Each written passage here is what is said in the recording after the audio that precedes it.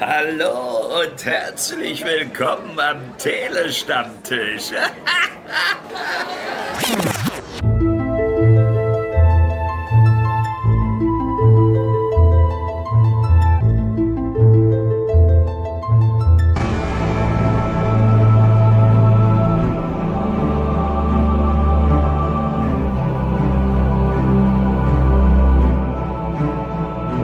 Bombadil, der alte Tom, daran kennt ihn jeder.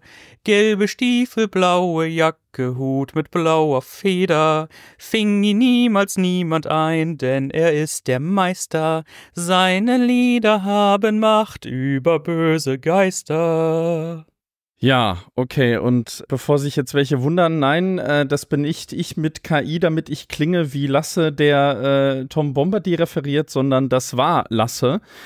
äh, aber äh, natürlich begrüße ich euch auch recht herzlich, also Megovannen äh, an alle Zuhörerinnen und Zuhörer da draußen zum mittlerweile vierten äh, Recap zu äh, Die Ringe der Macht, was wir äh, im Vorhinein aufnehmen, zu einem Zeitpunkt, wo nicht mal die ersten drei Episoden draußen sind. Und äh, dementsprechend haben wir auch wieder keinen Titel äh, für die ganze Nummer hier parat. Aber ihr seid trotzdem herzlich willkommen und natürlich auch Lasse einmal mehr. Das ist echt so seltsam, dass wir jetzt auf der Hälfte der Serie sind, obwohl noch keiner sie gesehen hat, oder?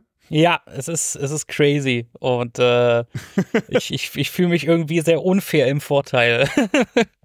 ja, aber äh, den spielen wir heute noch ein letztes Mal aus. Äh, beziehungsweise, ja gut, ich habe äh, tatsächlich vor, noch weiter äh, vorzuproduzieren, möglichst bis Folge 6. Da müssen wir mal schauen. Folge 5 und 6 werden aber mit äh, Sven besprochen, denn der Lasse äh, ist hier kurz davor, ja, in seinen wohlverdienten Urlaub zu fliegen, nicht wahr?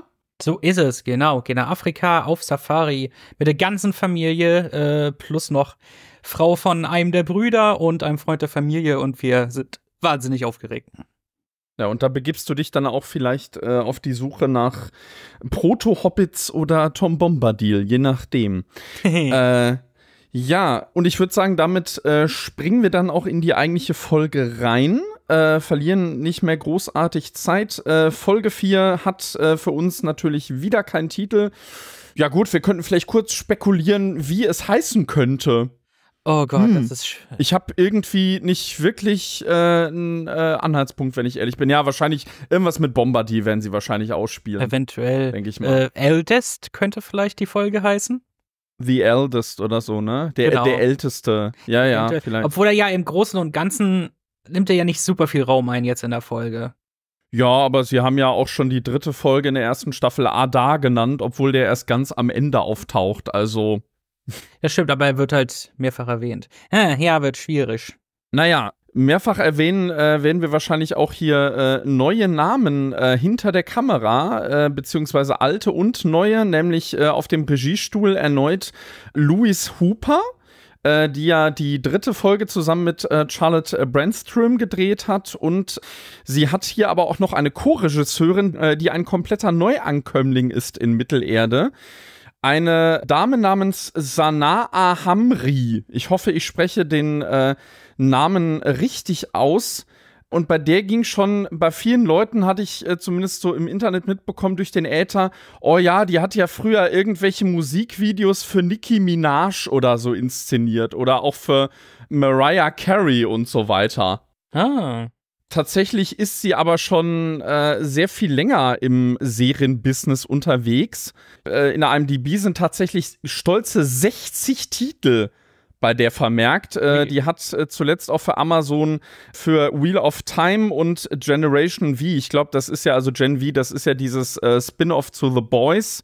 Da war sie jetzt auch mit am Drücker, ja, und die scheint sich jetzt bei Amazon so langsam äh, so zum Inventar zu gesellen. Ne? Also das, das ist ja dann schon wirklich die dritte oder vierte Arbeit in Folge nur für Prime, ne?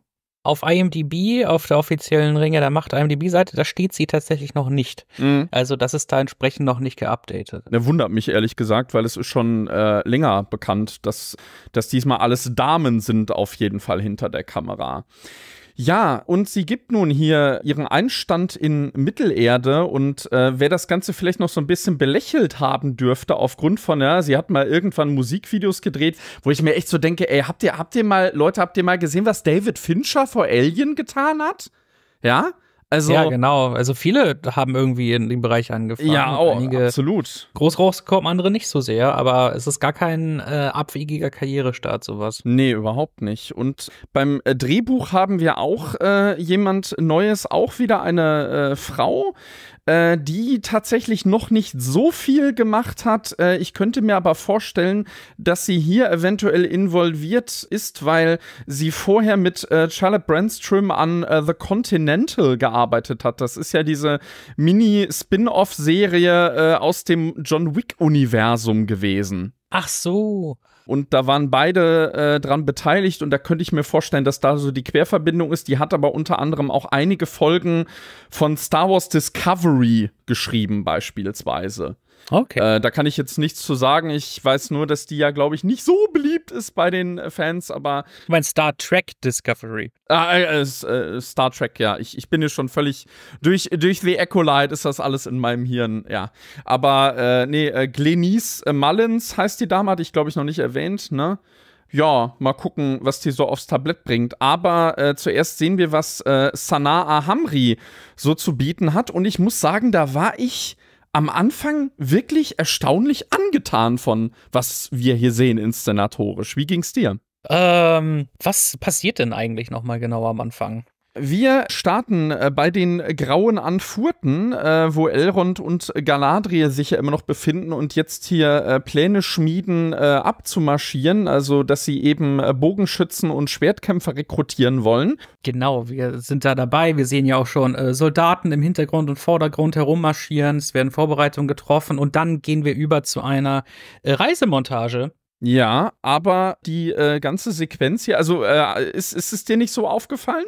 Was mir an dieser Sequenz hier gefallen haben könnte. Anscheinend nicht, aber äh, an, anscheinend ist es so, dass es wohl ein, dass es ein Long Take ist. Genau, es ist eine einzige große Plansequenz. Äh, die geht wirklich von hinten von den äh, Schiffen, die man da so vor Anker sieht. Also da ist ja hier äh, von Kirda, ne, der Schiffsbaubetrieb, sage ich jetzt einfach mal, äh, und dann gleitet die Kamera halt äh, weiter vor. Das wirkt vielleicht auch ein bisschen digital zugegeben, aber äh, ja, sie geht dann so zwischen den Reihen dieses kleinen Elbenheers, was so reinmarschiert kommt, und dann kommen Galadriel und Elrond so von der Seite ins Bild und kriegen sich wieder an die Köpfe. Und ich fand das, also wirklich auch die ganze Szene dann bis zu der Reisemontage, kein einziger Schnitt. Und da dachte ich mir so, ja, warum nicht gleich mal sowas? Das bringt einfach schon viel mehr Dynamik in das Ganze, weil die Serie ist doch sehr oft einfach nur, Leute unterhalten sich irgendwo, stehen irgendwo rum, Schuss gegen Schuss. Und da brachte das hier wirklich direkt eine sehr frische Note rein, fand ich. Das macht es eben auch umso besonderer. Und halt, anscheinend habe ich dann sehr viel eher auf den Dialog geachtet. Und eben halt, wenn du das clever machst, dann äh, lenkt das nicht allzu viel Aufmerksamkeit auf sich und ist dann einfach sehr schön zweckdienlich für die Szene. Und das ist dann hier der Fall. Aber zwischen äh, Galadriel und Elrond herrscht auf jeden Fall immer noch dicke Luft eher. Hm. Äh, und auch nur auf Drängen des Königs hat sich Elrond dazu überreden lassen, äh, sie zu seinem ersten Lieutenant äh, zu ernennen. Äh, will ihr dann anvertrauen, dass sie eben vorschlagen soll: Ja, hier, wir brauchen einen Bogenschützen und zwei Schwertkämpfer. Kannst du da irgendjemanden empfehlen? Und Galadriel ist auch so leicht spöttisch äh, im Hinblick darauf, dass er jetzt ihr Kommandant ist. Ja, sie kennt sich ja aber auch offensichtlich aus. Ja, ich, ich muss sagen, ich fand das aber auch wieder leider sehr unsympathisch äh, von ihrer Figur, weil ich mir echt so dachte, äh, nach der ganzen Scheiße, die du zuletzt verzapft hast äh, und auch äh, wie du Elrond auch teilweise, äh, wie du mit ihm umgesprungen bist, könntest du jetzt eigentlich ja auch mal ein bisschen kleinere Brötchen backen, oder? Nee, sie ordnet sich ja schon irgendwie unter, wenn auch vielleicht nicht ganz freiwillig. Was mich nur gewundert hat, ist, warum sind die zu Fuß unterwegs? Ja, das ist eine gute Frage. Weil wenn die Zeit so drängt, und ich meine halt, wenn sie irgendwie, wir wollen nicht die offiziellen Routen benutzen, für die Pferde könnte das schwierig sein. Das wäre eine gute Begründung, aber ich finde, dann sollten sie das betonen irgendwie. Dass, dass man sie dann halt einfach da zu Fuß rumlaufen sieht, mhm. wo, wo sie es doch irgendwie eilig haben. Und ich weiß ja, Elben, die, die halten einiges aus, die, die können schnell und weit laufen und die geraten nicht so leicht aus der Puste. Aber trotzdem fand ich das doch ein bisschen seltsam. Ja, das äh, vor allem, weil Galadriel so viel auf dem Pferd geritten ist in der ersten Staffel, ne? Also. Ja, und ich meine, sie haben ja welche, wir haben es ja etabliert, es gibt ja auch welche dort. Ja, ja, gut, vielleicht wollte man aus so einem, keine Ahnung, äh, äh, die Reisemontage, die sich hier anschließt, die channelt dann ja schon irgendwie so ein bisschen Peter Jackson. Da fehlt mir aber auch ehrlich gesagt ein bisschen die Größe. Also ich, ich habe auch nicht so das Gefühl, dass sie hier mal versuchen, irgendwelche äh, Orte, die man vielleicht kennen könnte, im Hintergrund mal irgendwie anzudeuten, sondern das wirkt alles ein bisschen beliebig und es ist vor allem auch nicht mehr Neuseeland. Das sieht man sehr deutlich. Mir persönlich hat bisher Neuseeland tatsächlich gar nicht gefehlt, optisch, lustigerweise. Es, mhm. Man merkt definitiv, dass es ein bisschen anders ist, gerade halt äh, mit einer bestimmten Waldsequenz, die etwas später ist, wo ich mir mhm. dachte, ah, das wirkt definitiv halt ein bisschen anders und dachte eher so Richtung England. Aber ich finde, die finden hier sehr schöne Einstellungen und eben auch die Tatsache, dass du hast ja tatsächlich viele Location-Shots, aber da ja auch nicht nur in England, sondern vor allem halt, die beziehen sich ja vor allem auch auf die Wüstensequenzen. Ich finde, die machen da das Beste draus und ähm, ich finde, das sieht dann doch alles äh, ganz schick aus letztendlich. Und letztendlich ist es auch sehr, sehr viel damit. Äh, Nachbesserung, was die Farbgebung angeht, etc.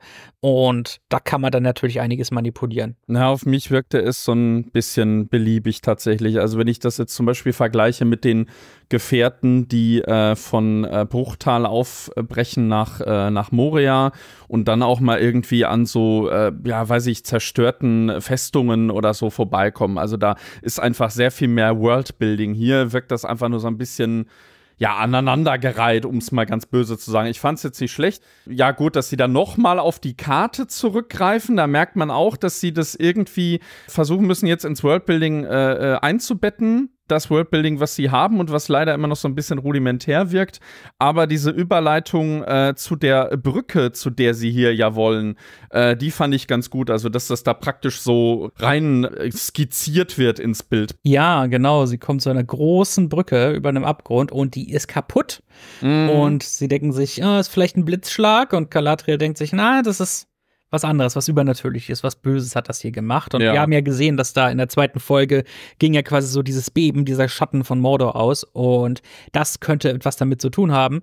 Und ähm, dann überlegen sie, was machen wir jetzt? Haben da verschiedene Möglichkeiten, äh, wo sie rum können und dann sagen sie hier da durch äh, diese Wälder dort, durch die Hügel, da ging es schneller.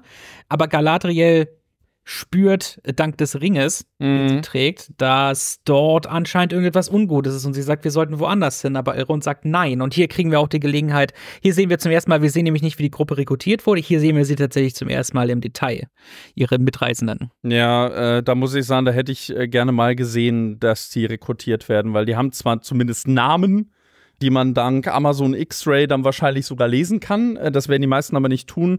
Ansonsten sind das halt einfach nur so, ja, weiß ich nicht, ziemlich gesichtslose. Und äh, da hätte ich es gut gefunden, wenn man den vor allem, man hat die jetzt auch noch ein Stück weit, also noch diverser besetzt als in der ersten Staffel. Denn wir haben hier äh, zum ersten Mal, glaube ich, einen weiteren, ich sage jetzt mal in Anführungsstrichen, schwarzen Elben und wir haben sogar eine Asiatin mit an Bord. Und da hätte ich schon gerne, ehrlich gesagt, gesehen, also weiß ich, man hätte ja mal kurz zeigen können, wie Galadriel und Elrond die mal jetzt eben so anwerben oder so. Und dann vielleicht auch, also weiß nicht, da, da ist mir zu wenig Persönlichkeit an der Stelle. Und das ist schade. Das kündigt eben dann so ein bisschen an, oh Gott, wie lange werden wir die wohl zu Gesicht kriegen, ist dann halt auch das Problem. Sind das quasi nur Red Shirts. Aber ich mag sehr gerne, dass man die gut auseinanderhalten kann und dass jede für sich einfach auch äh, cool und äh, einzigartig aussieht. Also innerhalb, innerhalb dieser Gruppe, man weiß sofort, wer wer ist. Und äh, ich finde, die haben auch jeder jeweils einen sehr, sehr coolen Look. Aber ja, ich wünsche, da wäre trotzdem ein bisschen mehr irgendwie Interaktion, weil hier letztendlich gibt es nicht super viel Dialog. Äh, ich muss auch sagen, ich verstehe die Motivation ihrer Mission jetzt nicht so wirklich. Beziehungsweise am Ende sagen sie eigentlich was völlig anderes, weil hier ist es ja am Anfang, sie brechen auf, äh, nach Eregion, um Celebrimbor zu warnen, weil von dem nichts gekommen ist. Also dieser Bote ist ja nie angekommen, das wissen wir ja. Mhm. Und zum Ende hin sagen sie dann aber, ja, wir suchen ja eigentlich Sauron. Und dann denke ich mir so, hä? Also irgendwie passt es nicht zusammen und das ist dieselbe Folge. Vielleicht haben sie so ein bisschen auch das Gefühl, dass Sauron dort ist und das schon irgendwelche Sachen lenkt und deshalb ist im Prinzip so, oh, scheint so, als hätten wir quasi zwei Missionen. Sie gehen ja davon aus, dass Sauron im Mittel äh, in äh, Mordor ist und äh, da, da frage ich mich übrigens auch, weil äh, klar, es wurde so dargestellt, dass irgendwie jetzt von Mordor aus so, so Schlieren über die Karte ziehen, aber äh, die Verbindung zu den Hügelgräberhöhen wurde da A überhaupt nicht gezogen. Es bezog sich eher nur auf Khazad-dûm an der Stelle und B ist Ada in Mordor. Also, äh, äh, das, also, weiß nicht, das, das griff für mich überhaupt nicht. Und auch dann äh, dieses, äh, dass Elrond sagt irgendwie, ja, wir können ja nicht woanders lang, weil äh, der Feind wird ja wahrscheinlich diese Straße auch beobachten. Dann denke ich mir so, welcher Feind denn jetzt bitte? Die Orks sind in Mordor. Das ist euer letzter Stand und Mordor ist jetzt auch nicht gerade um die Ecke. Ich meine, die sind hier wirklich, die sind hier da, wo später das Auenland und der alte Wald sein wird. Also wirklich Nein, da sind weit sie nicht. oben. Doch, da sind sie. Da Nee, sind nee. doch die. Hügelgräberhöhen. Doch? Nee, das sind andere Hügelgräberhöhen. Das ist nicht genau, das ist nicht exakt der Ort. Okay, weil ich hatte nachgesehen, weil sie nennen hier nämlich auch den äh, Namen Türen Gorfahrt und das ist ein alter Name für die Hü- Hügelgräberhöhen östlich des alten Waldes und äh, der Stelle, Ah, okay, wo dann später habe ich, dann habe ich, glaube ich, dann habe ich selbst, glaube ich, tatsächlich einen Fehler gemacht und äh, verwechselt, wo Lindon eigentlich genau ist. Aber ja, das ist halt doch tatsächlich ziemlich weit im Westen und dann ergibt die Route durchaus Sinn. Ja, Mhm. also das heißt, dann sind sie doch tatsächlich da irgendwo in der Gegend. Es heißt halt, sie haben zwei Optionen. Entweder sie gehen nach Norden, dafür brauchen sie dann ganze zwei Wochen länger und nach Süden geht es dann eben nur äh, über diese äh, ja, Hügelgräberhöhen. Die machen hier dann zumindest geografisch dann Sinn. Also beim ersten Mal muss ich sagen, fand ich diese ganze Nummer, die dann jetzt hier kommt, ehrlich gesagt so ein bisschen willkürlich reingeworfen, aber hier macht es zumindest von der Location her äh, äh, halbwegs Sinn. Trotzdem frage ich mich auch, sie, sie übernehmen dann ja so ein bisschen hier mit den äh, Grabunholden dann diesen Plot aus dem Buch. Nur da ist es ja so, dass Frodo da durchreist und dass die, dass diese äh, Grabunholde vom Hexenkönig informiert worden sind, dass die da durchkommen können und dass sie deshalb die Augen offen halten sollen. Hier müsste es dann ja Sauron selber gewesen sein, auf seinem Weg nach Eregion theoretisch und dann müsste er hier auch diese Brücke zerstört haben. Aber das bleibt halt alles im Wagen. Also Ja, ich habe da keinen Bezug zu.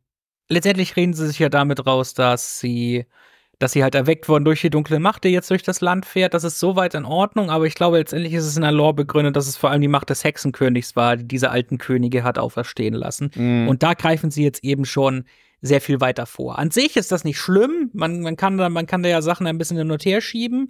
Mhm. Aber letztendlich wirkt das nur so ein bisschen wie so eine, wie, wie so ein Abhaken. Oh, das ist was aus dem Buch, was wir bisher noch nicht gesehen haben. Ja. Und wir möchten das hier gerne einbringen. Und äh, letztendlich habe ich damit halt, wir möchten das gerne einbringen, habe ich letztendlich so ein Problem damit. Letztendlich aber fü führt es leider nicht zu besonders viel. Ja gut, das kann man bei dieser Folge an vielen Stellen sagen. Es ist halt blanker Fanservice eigentlich nur. Also es, es fällt schon auch auf, dass sie sich für diese Folge wirklich dezidiert an ganz bestimmten Stellen im Buch, äh, äh, also in Herr der Ringe bedient haben, die auch noch zusammenhängen. Also Tom Bombadil, die äh, Hügelgräberhöhen, dann auch hier das äh, mit, dem, mit den Hobbits und den Reitern, das kannst du theoretisch sogar auf die schwarzen Reiter aus dem Buch beziehen und auch, dass sie dann da bei Hobbits Unterschlupf finden, das ist dann praktisch der Bauer Maggot. Also das wirkt schon sehr wie eine Blaupause übernommen. Was ich äh, übrigens auch gar nicht mochte in der Szene, war mal wieder Galadriel. Äh, es ist dann ja so, also sie und Elrond geraten dann ja so aneinander und er sagte dann ja, ja, also wenn, wenn du dich jetzt hier nicht einfügst, und das tut sie ja anscheinend nicht, dann kannst du auch äh, äh, gerne wieder nach Hause gehen, wenn du willst. Und er sagt auch, wir nehmen keine Hinweise, wir, wir richten uns jetzt hier nicht nach deinem Ring. Genau, richtig. Wir, wir nehmen keinen Rat oder Befehle, äh, um Gottes Willen, von einem Schmuckstück an.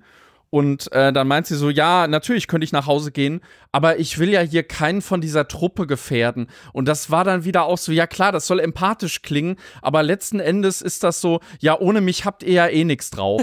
Das ist so, nee, also das ist wieder wa wahnsinnig, wirklich so unsympathisch einfach. Also wer, wer soll sich damit identifizieren? Und was mir da auch nicht generell an äh, Galadriels bisherigen Werdegang in dieser Staffel überhaupt nicht gefällt, erst hat sie doch so diese Einsicht, ich will es besser machen, und dann verlässt sie sich nur noch auf den Ring. Hm. Weil man hätte es ja so sagen können, von wegen, sie hat jetzt aus ihren, oder sie, also das sagt sie doch auch zu, zu dem Elbenkönig in der, in, in einer der ersten beiden Folgen, dass sie jetzt so viel wie möglich wieder gut machen will, weil sie merkt, oh, ich habe echt Scheiße gebaut. Aber stattdessen kommt das nicht aus ihr heraus, sondern es, es bezieht sich alles immer nur auf den Ring. Hm. Und das finde ich echt schwach. Also da hat man auch äh, bei ihr eine Möglichkeit mal wieder sausen lassen, ihren Charakter mal irgendwie ein bisschen nahbarer zu schreiben. Ist jetzt nicht so, also in der ersten Staffel habe ich die wirklich gehasst irgendwann, äh, weil sie auch irgendwelches Fascho-Gebrabbel davon sich gegeben hat. Hier ist sie mir ehrlich gesagt wahlweise ziemlich egal oder äh, ja, unsympathisch immer noch. Ich hätte da nicht wirklich ein Unsympathieproblem bei ihr in dem Fall. Ich fand das dann eigentlich ganz amüsant. Aber ja gut, ich verstehe auch, dass man da anders denkt. Ja. Sind wir dann immer noch bei Ihnen oder wechseln wir dann die Szenerie? Nee, wir wechseln dann direkt äh, ja, zum Filetstück für dich, beziehungsweise den Grund, warum du unbedingt diese Folge besprechen willst. Richtig, ja, nämlich wir sehen dann, wie der äh, Fremde äh, nach den Halblingen sucht, der Fremde, aka Scamdalf. Scamdalf sucht nach den Haarfüßen, welche ja durch den äh, Windsturm verloren gegangen sind guckt sich da immer noch um. Und ich glaube, wir bleiben erstmal bei ihm, ne? Genau, äh, er findet eine Ziege. Ja. Und mitten in der Wildnis äh, findet er eine Ziege und kurz darauf auch ein Haus, wo äh, auch äh, jemand ist. Also das ist nicht verlassen, sondern dort ist ein, ich nenne ihn jetzt einfach mal Farmer der ihm den Rücken zudreht. Wir sehen im Hintergrund, der züchtet anscheinend Bienen und äh, scheint äh, Scamdalf eigentlich gar nicht so wirklich zu bemerken, singt so, glaube ich, leise vor sich hin. Genau. Und wirft äh, äh, Scamdalf auch fast einen Strauß ins Gesicht, bis der ihn dann direkt anspricht und nach den Haarfüßen fragt. Ja, und äh, dieser, dieser äh, Einsiedler dort, so können wir ihn auch nennen, der mhm. drückt sich auch ein äh, bisschen kryptisch aus, aber er scheint so ein bisschen halt, er scheint sich nicht stören zu lassen von irgendwas. Ähm, hat einen äh, braunen Bart und äh, trägt so eine ähm, beige Kutte. Mhm. Und ähm, sieht an sich äh, sehr, sehr freundlich aus auch. Und sein äh, Haus ist so in diesen Hügel hineingebaut, sieht sehr hübsch aus, aber er denkt, ja, ist so ein bisschen halt, ja, lässt sich nicht so wirklich stören von den ganzen Umständen. Und der Scamdalf ist so ein bisschen, äh, was, na gut, was. Und dann geht er ein kleines Stückchen weiter. Ja, er, er meint, äh, er, er sucht nach Sternen über einem Hügel. Es sind hier zwei Haarfüße durchgekommen, genau, genau. und äh, ich suche da diesen Stern. Er sucht nicht nach irgendwelchen Sternen, er sucht genau nach den Sternen über äh, dem Hügel des Einsiedlers. Ja. Und äh, zückt dann auch diese äh, Sternkarte, die er ja hat, aber die fliegt relativ schnell davon, also die flattert ihm wirklich weg. Scamdalf dann hinterher, äh, bis dieses Pergament dann in einem Baum stecken bleibt. Der so, also im Hintergrund sieht man zwar so ein paar irgendwie kleinere, aber der hier fällt halt wirklich auf, weil es weit und breit eigentlich der einzige richtige Baum ist in der Umgebung, ne? Ja, sehr, sehr groß, steht in so einem kleinen Tal. Und dann äh, merkt er, ho, vielleicht ist ja einer der Äste der Stab, den ich suche. Und versucht, einen der Äste abzubrechen, aber wird dann von dem Baum quasi verschluckt. So die Rinde öffnet sich ein bisschen und äh, er wird äh, in den Stamm hineingezogen und mhm. dann äh, fliegt das Pergament wieder weg und so in Richtung Kamera. Und ich dachte ehrlich gesagt, da kommt jetzt die Hand von dem Einsiedler und fängt die Karte auf in so einem netten Reveal-Effekt, aber das ist dann wohl doch nicht der Fall. Das, das wäre nett gewesen, aber vor allem äh, frage ich mich, also Scamdar wollte doch in erster Linie die Karte haben. Warum hat er sich die nicht genommen, sondern stattdessen angefangen oder versucht, diesen Zweig abzubrechen oder eigentlich schon Ast eher von dem, von dem Baum. Also das habe ich, das habe ich wirklich überhaupt nicht verstanden. Ich glaube, er spürt tatsächlich eine gewisse, oh, vielleicht ist es ja das, weil ich meine, schließlich zeigen ja die Sterne hierher. Ja, ja, aber warum interessiert ihn die Karte plötzlich nicht mehr? Na, weil, weil die Karte, vielleicht denkt er, oh, jetzt hat die Karte ausgedient quasi. Ich glaube, das ist jetzt mein Ziel hier. Ich glaube, das denkt er. Also, das fand ich ganz merkwürdig, wie der plötzlich versucht, da an dem Baum rumzudrücken. Das, das, äh, nee, das hat sich mir nicht erschlossen. Äh, er hat ja dann auch noch versucht, irgendwie äh, den, den, den Baum zu beruhigen mit äh, Quenya, ne, was er dann ja schon äh, in der ersten Staffel gemacht hat, aber es bringt nichts. Er wird hineingezogen. Und wir landen dann aber nicht an der Stelle, wo er schon aus dem Baum rausgeholt wird, sondern äh, bei denen, die er sucht, nämlich Poppy und Nori, die äh, erwachen, äh, voller Staub sind. Also Nori, also hat's, hat's so zu Boden geschmissen und Poppy liegt aber wirklich so mit dem Kopf in so einem Strauch oder Busch auf jeden Fall. Nur ihre Füße schauen raus. Das fand ich schon ganz, ganz amüsant. Ja, das war ein lustiges Bild, aber letztendlich dann Genau, die beiden. Ja, toll, was machen wir jetzt? Scheint nicht übermäßig verletzt zu sein, was tatsächlich auch lustigerweise in der Lore begründet ist, was im Hobbit-Buch erwähnt wird, dass Hobbits tatsächlich sehr widerstandsfähig sind, was so Stürze angeht. Mhm. Könnte ich mich jetzt gar nicht dran erinnern. Hm. Oh ja, ja, das ist tatsächlich, das ist tatsächlich, äh, wird da, wird da sehr äh, prominent erwähnt. Die beiden denken sich, ja gut, was, was machen wir jetzt? Wo sind wir jetzt eigentlich? Sollten wir wieder unseren Freund auch suchen gehen, aber dann werden sie, hören sie wieder in der Ferne Galopp und sehen dort einen Reiter. Mhm, wieder mit dem Augensymbol, ne? Genau, oh Mist, wir, wir sollten hier weg, springen dann eine Anhöhe runter und landen auf einem kleinen Pfad und dort begegnen sie keinem weiteren Reiter, sondern einem weiteren, einer weiteren Gestalt in ihrer Größe, ja. der äh, einen Karren äh, mit sich äh, schiebt. Ich glaube, er schiebt ihn oder zieht ihn. Mhm. Genau, und äh, dieser hat eine ähm, ich, mo ich, mochte sein Design super gerne. Hat so seine, so eine wilde Frisur und genau, ist ein, ist, ein, ist ein junger Mann. Und da denken sie, oh Moment, du bist ja ein Haarfuß. Und er denkt sich, was ist ein Haarfuß? Weil die haben da eine andere Bezeichnung für sich. Ja, oder die sind auf jeden Fall äh, keine Haarfüße eigentlich, ne? Also man muss sich ja dran erinnern, es gibt ja bei den Hobbits insgesamt drei Sippschaften. Also die Haarfüße, die äh, Falb heute, das habe ich sogar noch falsch gesagt im äh, Staffel-Recap, da habe ich, glaube ich, Fahl heute gesagt. Hm und äh, ja, starren. Und die kommen jetzt hier äh, zum Einsatz. Das heißt, wir haben praktisch äh, Proto-Hobbits, die hier aus irgendeinem Grund in der Wüste residieren. Und äh, der hier, äh, ja, ist, äh, glaube ich, auch nicht unbedingt der hellste. Der stellt sich zwar so äh, unbeholfen als Mary Mac vor, aber meint, dass ihn eigentlich alle niemand nennen oder Nobody im Englischen auf jeden Fall. Ne? Ja, er scheint keinen hohen Status zu haben innerhalb seiner Gemeinschaft. Auf jeden Fall merkt man äh, zwischen ihm und äh, Poppy sprühen sofort die Funken. Die scheinen einander sofort zu gefallen. Und Nori chippt da so ein bisschen amüsant dann so dazwischen. Mhm. Ja, übrigens, ich bin Nori. Und äh, was machen wir hier? Und dann sieht sie, dass er Wasser dabei hat. Und anscheinend hat er das von dem Brunnen entwendet der eigentlich äh, ja diesen diesen Menschen zu gehören scheint und dann sagt sie hol uns hier raus sonst äh, verpetzen wir dich also sie ist da so ein bisschen plötzlich direkt und äh, er sagt eigentlich, wir sollen wir keine Fremden mitnehmen, aber dann nimmt er sie doch mit, halt eher aus Angst als aus äh, Gefälligkeiten und warnt sie dann vorher, dass es so vier Regeln gibt, äh, wie man dann mit der, mit der Obersten des, des Stammes oder der Sippe oder wie auch immer mhm. reden soll. Ja, ihm rutscht äh, äh, raus, dass es ein Dorf gibt und dass äh, Außenseiter dort gar nicht gern gesehen sind. Dann dachte ich mir so, hm, ja gut, die führen so ein bisschen die Xenophobie ihrer äh, Anverwandten fort aber äh, Poppy äh, kann ihn dann doch irgendwie, also die, die nimmt ihn kurz so ein bisschen beiseite und äh, macht ihm eine Ansage. Und der stellt ihn dann, während sie dann da, äh, das ist auch eine kurze Reisemontage, glaube ich, wie sie da langwandern mit ihm und der zählt ihnen dann äh, vier Regeln auf, was äh, den Anführer bzw. die Anführerin bei ihnen angeht, die nur The Goond heißt, offenbar. Genau, und dann heißt unter anderem mal Don't call her a goon ist eine von den Regeln und dann letztendlich sagen, sagen die beiden dann so, waren das jetzt drei oder vier Regeln? Ah, keine Ahnung, ich habe nicht wirklich zugehört. Ja, das, das, das fand ich ganz amüsant und äh, es kommt halt sehr schnell durch, äh, schon im, äh, von dem, was er von sich gibt, dass der echt nicht gerade der hellste ist, weil der erzählt hat was von vier Regeln, zählt dann aber nur drei auf und die Nummer zwei ist statt die Nummer zwei einfach B. Das ist wie, das ist wie bei Kevin allein zu Hause, wenn er diese Aufzählung hat, so A, I not that lucky. Ja, ähm, stimmt. Two, bla bla bla, äh, and D. Jedenfalls äh, haben sie nicht äh, wirklich zugehört, folgen dem dann in so eine Gebirgsspalte in das äh, Dorf, äh, was dort gelegen ist. Und ja, dann haben wir erneut eine Plansequenz, äh, die uns mal so durch das ganze Dorf führt. Ist technisch schon gut gemacht auf jeden Fall.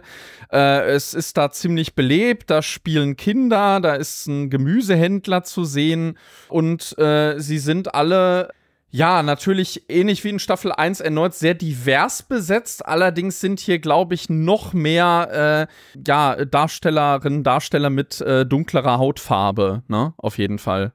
Ja, was ja auch in dem Sinne so ein bisschen Sinn ergibt von der Location her. Ich muss sagen, ich bin nicht der größte Fan von dieser Location irgendwie, jedenfalls bisher nicht. Ich fand irgendwie, weiß nicht, vielleicht dachte ich, das sieht ein bisschen zu sehr aus wie, ich weiß nicht, es ist für mich einfach ein bisschen zu sehr so generisch set-mäßig mhm. aus. Ich war jetzt da nicht so der größte, der größte Fan von, wie das da keine Ahnung, es wirkte irgendwie, und ich meine, ja, das sind kleine Leute, aber drauf, auf mich wirkte das trotzdem alles so ein bisschen irgendwie klein und begrenzt. Was ich sehr mochte, war die Musik, denn hier macht Bear McCreary was ziemlich Cleveres. Äh, nämlich die, die Instrumentierung erinnert schon an die der ähm, Haarfüße, die wir schon kennen aus Staffel 1. Mhm. Aber es klingt ein bisschen exotischer und die Melodik nähert sich sehr an von, nähert sich sehr dem Thema von Nori selbst an. Okay. Und äh, damit schaffen sie gleich so eine nette musikalische Verbindung zwischen ihrem Charakter und diesem neuen ja, Halblingsschlag, dem sich hier begegnet. Und das fand ich ziemlich cool. Ja, wir äh, sehen dann ja auf jeden Fall auch, dass sie merken, also das sind zwar Hobbits, aber nicht welche, äh, die Nomaden sind, sondern welche, die äh, sesshaft geworden sind und zwar in Höhlen. Mhm. Ich weiß gar nicht, ob der Begriff sogar fällt, äh, Smials. Also das ist ja oh. der Ausdruck, den die Hobbits benutzen für äh, ja äh, eben ihre äh, Höhlenbehausungen die ja äh, dann hier den Ursprung haben. Und es ist aber schon irgendwie, also im Hinblick auf die Lore ist es ein bisschen seltsam, dass sie sich jetzt hier gerade diesen Hobbit-Schlag für Höhlen ausgesucht haben, weil das sind nämlich, also die Starren sind nämlich gerade die, die auch unter anderem in Häusern leben. Ja, aber da kann ja eben dann während der Evolution sozusagen noch eine Menge passiert sein und jeder fängt irgendwie mal klein an. Ja, ja, gut, dass sie jetzt hier in der Wüste leben, obwohl die Starren eigentlich sehr wasseraffin sind. Naja. Das kann ja alles noch kommen. Ja, natürlich, aber ich weiß auch nicht, ja gut, das, das liegt halt daran, ich bräuchte die hier überhaupt nicht. Also, das ist wieder so. Äh, naja, jedenfalls äh, stoßen sie dann relativ schnell auf äh, das Oberhaupt des Dorfes und äh, das ist ja, wie wir schon gehört haben, eine Frau. Gunda Bale heißt die, glaube ich, und die stellt dann direkt klar, nee, wir sind keine Haarfüße, wir sind Starren. Und äh, ja, die springen dann auch nicht so toll mit äh, diesem Mary Mac um, was man aber auch verstehen kann, weil, naja, der hat ja eigentlich seine Vorschriften, dass er hier keinen reinlassen soll. Und also ich meine, die haben jetzt ihn auch nicht, wer weiß wie überarbeitet, aber der ist halt, der ist halt wirklich ein Holzkopf, habe ich das Gefühl. Ja, so ein bisschen. Es, es scheint, scheint, so ein bisschen der, der Dorftrottel zu sein und so ein bisschen so das Dorfopfer. Was hier ein sehr lustiges, äh, fand ich eine sehr, sehr lustige Stelle ist, weil sie dann weil Nori dann sofort im Prinzip so verbal zurückgibt und dann, und dann die und die Oberste dann im Prinzip, did you just talk back sass to me oder sowas in der Art? Also, also, hast du mir gerade so widersprochen. Und dann, und dann steht da äh, Mary Mac, oh, that was the for. Ja, ja, stimmt, stimmt. Ja, ja, das, ja, ja. Also, die, die hacken ja direkt irgendwie auf, auf äh, Mary Mac rum und nennen den tatsächlich Nobody, ne? Und mhm. äh, äh, der erklärt dann, ja, sie, sie, sie brauchten ein Versteck und äh, die meinten dann so, ja, es ist auch wirklich klug, dass äh, alles, was Beine hat in der Wüste, sucht die zwei hier und äh, wir beherbergen die jetzt hier ausgerechnet. Und äh, dann will Gundabale, die schon ordentlich angepisst ist, dass Nori ihr überhaupt einen Grund gibt, warum sie sie eigentlich nicht ausliefern sollten. Und dann kommt Nori um die Ecke mit, ja, wir sind lange gereist über Berg und Tal und was weiß ich, wo wir übrigens nichts von gesehen haben, aber okay, um äh, äh, Scamdalf zu helfen und äh, dann so, ja, wer, wer, wer, wer ist denn euer Freund da, äh, äh, dem ihr da irgendwie helfen wollt, sein, sein Schicksal zu finden oder was auch immer? Ja, das, das ist ein Riese, aber es ist kein Elf. Die, äh, also die, die Stachen nennen es dann irgendwie Grand Elf, beziehungsweise Grandelf, die verschlucken das so ein bisschen. Und äh, ja, wenn das kein Foreshadowing war, dann äh, weiß ich auch nicht. Also, ne, von der Sprache her auch. Nein, es ist äh, kein Elf, klärt Nori sie dann auf. Es ist ein Zauberer, was dann aber sogar noch schlechter ankommt. Denn äh, die kennen hier nur einen einzigen Zauberer und äh, das ist bekanntlich dieser äh, Dark Wizard. Ich habe ihn äh, mittlerweile übrigens äh, Saru Maybe getauft. Oh, das ist nice. Freunde, also welche, die mit dem im Verbund sind, können sie erst recht nicht gebrauchen und deshalb äh, sollen sie äh, festgesetzt äh, und äh, gefesselt und ge ja, geknebelt nicht werden, aber gefesselt auf jeden Fall. Genau. Äh, ja, diese ganze Sequenz ja, gut, ich weiß nicht, ich finde diese Haarfüße, äh, die, diese Hobbits, ob man die jetzt nochmal braucht, wie die jetzt dargestellt werden, ist ganz nett. Ich, ich mag das, wo es im Verlauf der Folge hinführt, letztendlich. Mhm. Ähm, aber ich bin jetzt kein großer Fan von der Location selbst. Ich bin einfach auch nicht so besonders wüstenaffin und so. Ja, aber äh, sie haben jetzt auch nicht unbedingt so die typische Wüsten- Kleidung an. Also wenn man jetzt mal überlegt, die Hobbits sind ja bekannt dafür, dass sie irgendwie schnell und geräuschlos verschwinden können und äh, nicht entdeckt werden wollen. Und dann denke ich mir so, warum tragen die ja alle förmlich Kanariengelb? Also, äh, wenn man, wenn man in der Wüste unterwegs ist, dann will man sich doch eher tarnen, gerade wenn man dem großen Volk aus dem Weg gehen will. Und das machte für mich überhaupt keinen Sinn. Ja, die, die Haarfüße in der ersten Staffel, die hatten Kleidung an, die jeweils gut auch zu den Umgebungen gepasst hat, wo sie unterwegs waren. Ja, und die hatten natürlich auch ihre, äh, ihre Wagen, die sie ja auch irgendwie so tarnen konnten und so, ne? Das, das war ja echt noch ganz nett, als sie eingeführt wurden in der ersten Staffel. Und hier, ja, ich muss sagen, also auch mit, ich meine, klar, du, du, du meintest jetzt, äh, äh jetzt im Hinblick auf die diverse Besetzung, hier macht es natürlich mit der Umgebung Sinn, aber da hätte man dann auch konsequent bleiben können, weil äh, es sind dann doch ein paar, die äh, anscheinend mit kaukasischen Schauspielerinnen und Schauspielern besetzt wurden und die machen dann in der Umgebung hier eigentlich gar keinen Sinn, weil wie sollen die denn hier überleben? Also, dass das hier wieder als so ein, als so ein Melting Pot dargestellt wird, äh, funktioniert für mich gar nicht. Also das war für mich in der ersten Staffel wirkte das schon sehr willkürlich und so nach, äh, ja weiß nicht, man weiß ja, was, was Amazon für so Auflagen hat, was äh, Diversität be, äh, betrifft. Und das wirkt halt hier so ein bisschen echt wieder wie äh, äh, Quoten auf einer Liste irgendwie abhaken. Also diese, diese, diese Pflichtschuldigkeit dahinter, die, die stößt mir einfach echt ein bisschen auf. Also es ist nicht so, also ich, die, die anderen Haarfüße habe ich ja immer wirklich schon äh, abgrundtief verabscheut, wie du dich erinnern wirst. Äh, hier ist das nicht so, vielleicht, weil die ja auch nicht so äh, äh auf so einem auf äh, Proto-Fascho-Trip sind. Naja, äh, wir äh, landen als nächstes in äh, Karasgär, äh, wie wir ja gelernt haben. Ich hatte auch echt nochmal nachgeguckt. Äh, der Ort muss komplett erfunden sein. Du meinst ja schon, also wir, wir hatten ja letztes Mal, glaube ich, schon gesagt, das sieht so ein bisschen aus wie so Tempelanlagen, wie man die auch in einem Zelda-Spiel haben könnte, ne? Ja. Und hier ist dann äh, der oberste äh, dieser Reiter, beziehungsweise ich, ich glaube irgendwie Brank oder Brenk heißt der. Ja, ich glaube, Brank ist das genau. Und der sagt, der berichtet davon, ja, der ist sehr viel mächtiger, als wir dachten. Hat genau. zwei meiner Männer getötet mit diesem Sturm. Und äh, er bewegt sich vor allem auch äh, gen Norden zum Einsiedler hin.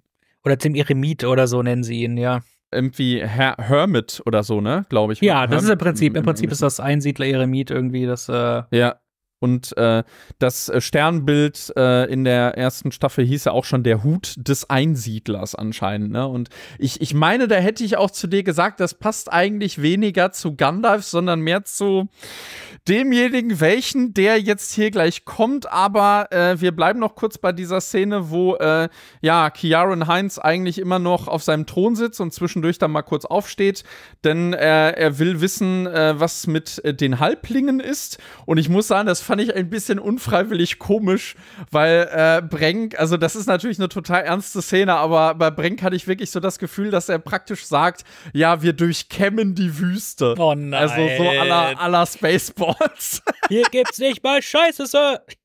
Genau. Ja, ja, das ist sein Name. Sir, äh, äh, äh, Major Arschloch. ich bin nur von Arschlöchern umgeben, ja. Oh, das denkt sich wahrscheinlich auch äh, Sarah Maybe.